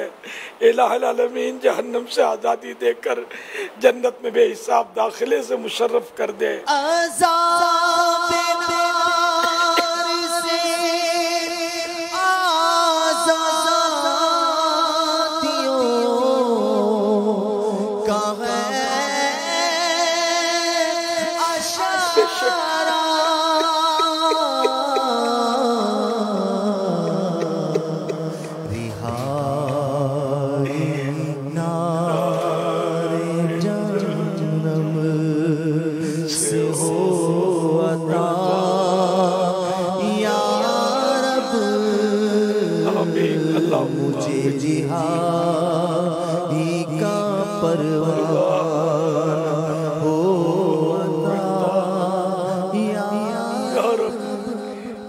आलमीन हमारे मरीजों को सेहत अता फरमा। या अल्लाह पाक कोरोना वायरस की आफत दुनिया से दूर हो। इलामीन कोरोना के मरीज़ भी शिफा याब हो जाए। ए अल्लाह पाक बे औलादों को नेक औलाद बाफियत अता फरमा। बेटों के तलबगारों को भी महरूम न फरमा। इलामीन बेरोजगारों को हलाल और आसान रोजी अता फरमा। परवदगार आलम, तंग दस्तियाँ दूर हों। अल्लाह पाक, जिनकी औलाद ना फरमान है, फरमा बरदार हो जाए। या अल्लाह पाक, जिन पर झूठे केस बने, ख़त्म हो जाएँ। रब करीम, मजलूम कैदी रिहा हो जाएँ। या अल्लाह पाक, बेनमाजी, नमाजी बन जाएँ। जो रोज़े नहीं रखते, रोज़ा रखना शुरू कर दें। अल्लाह पाक तरह तरह के गुनाहों में लोग मुलव्वस हैं। अल्लाह पाक, सब तेरी बारगाह में झुक जाएँ। तोबा करके नेकियों भरी, सुन्नतों भरी ज़िंदगी गुजारना शुरू कर दें। हम भी सब नेक हो जाएँ। इलाहल आलमीन तरह तरह की परेशानियों में लोग मुबतला हैं। परेशानियाँ दूर कर दे खुशहालियाँ नसीब फरमा। मुश्किलात को आसान कर दे। इलाहल आलमीन, अमन व चैन नसीब फरमा, राहत व सुकून अता फरमा। ए अल्लाह पाक, हमारी सारी ही ज़िंदगी तेरी रिजा के साय में गुजरे, सुन्नतों भरी गुजरे। या अल्लाह पाक, गुनाहों से नफरत नफरत, शदीद नफरत हो जाए। नेकियों से बेहद प्यार हो जाए। इलामीन हम नेक बन भी जाएँ। गुनाहों से पाक कर दे। या अल्लाह पाक, हमारा ईमान सलामत रखना। ए अल्लाह पाक, बुरे खात्मे से बचाना। इलामीन बवक्त आखिर हमें अपने महबूब के जलवे से मुशर्रफ फरमाना। तेरे महबूब के जलवे में काश ईमान आफियत के साथ मदीने में शहादत का जाम पीना नसीब हो जाए। नज आके मुझे जलवाए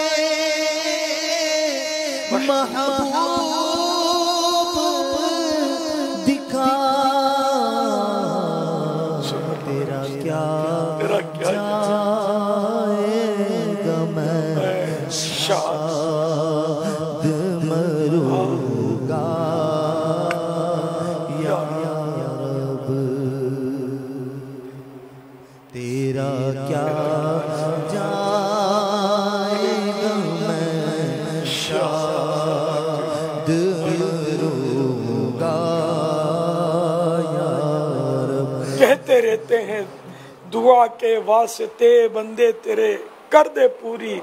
आरज़ू हर बेकसो मजबूर की।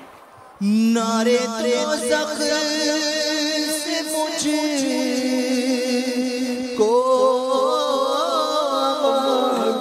आमीन। के बागे जीना आमीन।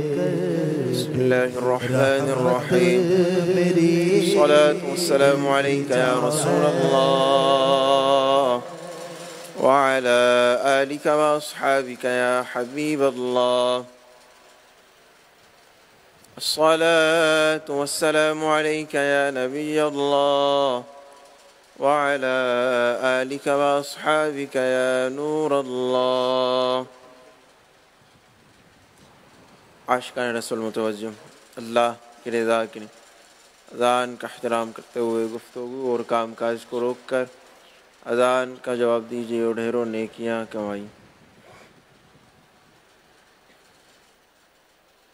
अल्लाह अकबर।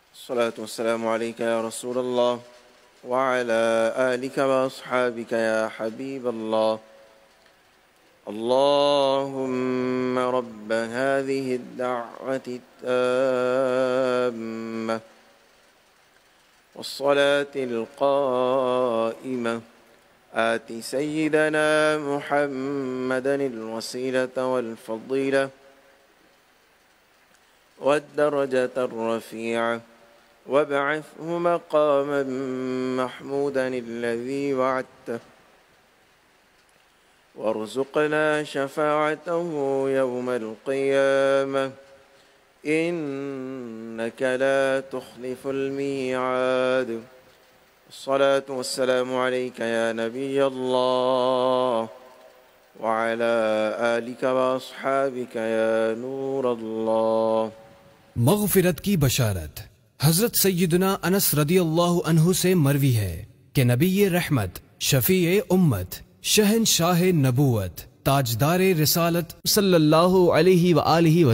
वसल्लम ने फरमाया, जिसने नमाज़ के बाद ये कहा तो वो मगफिरत याफ्ता होकर उठेगा। सुबहान अल्लाहिल व ला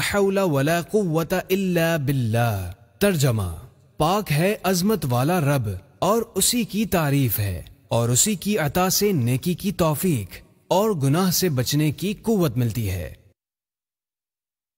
आइए प्रोग्राम मोमिनों के आला औसाफ देखिए, मगर ठहरिए, पहले अच्छी अच्छी नियतें फरमा लीजिए, ताकि सवाब भी मिले।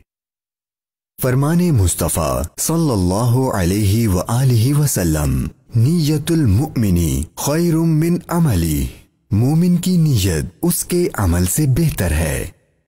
अल्लाह की रिजा पाने और सवाब कमाने की गर्ज से प्रोग्राम देखने से पहले अच्छी अच्छी नियतें फरमा लीजिए। अल्लाह की रिजा की खातिर इल्म दीन हासिल करूँगा। सीख कर दूसरों तक नेकी की दावत पहुंचाऊँगा। खास खास बातें लिखूँगा। अव्वल त आखिर देखूँगा। अखलाक हो अच्छे मेरा किरदार हो सुथरा किरदार हो सुथरा महबूब का सदका तो मुझे नेक बना दे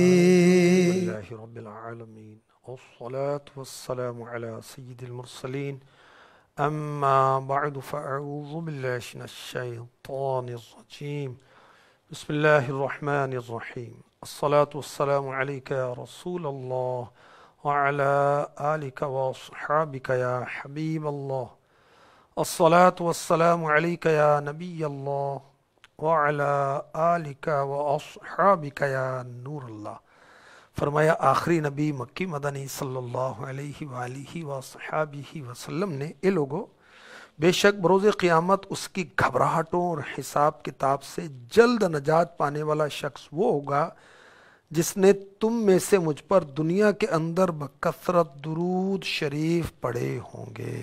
सुबहान अल्लाह सल्लु हबीब सल्लल्लाहु ताला अला मुहम्मद वअला आलिहि व सहबिहि व बारक वसल्लम क़यामत का दिन पचास हज़ार साल का दिन होगा। सूरज सवा मील पर होगा।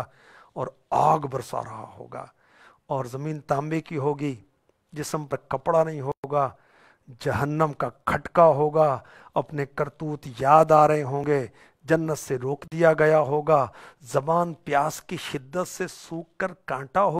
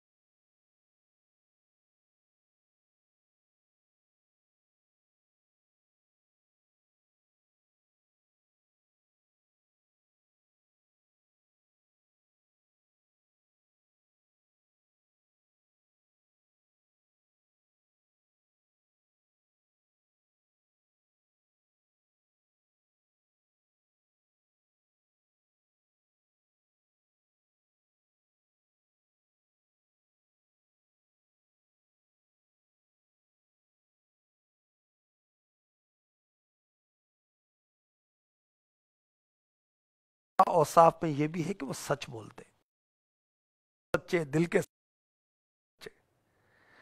जो मोमिनीन हैं, ईमान वाले हैं, कामिलुल ईमान मोमिन हैं, वो अल्लाह और उसके रसूल सल्लल्लाहु अलैहि वसल्लम की फर्मा बरदारी करते हैं और पिछले पहर उठकर अपने गुनाहों को याद करते हैं और अल्लाह की बारगाह में तोबा इस्तगफार करते हैं। जो मोमिन कामिल हैं, इनके आला और साफ़ में ये भी है कि अल्लाह की खातिर मोहब्बत करते हैं नेकी की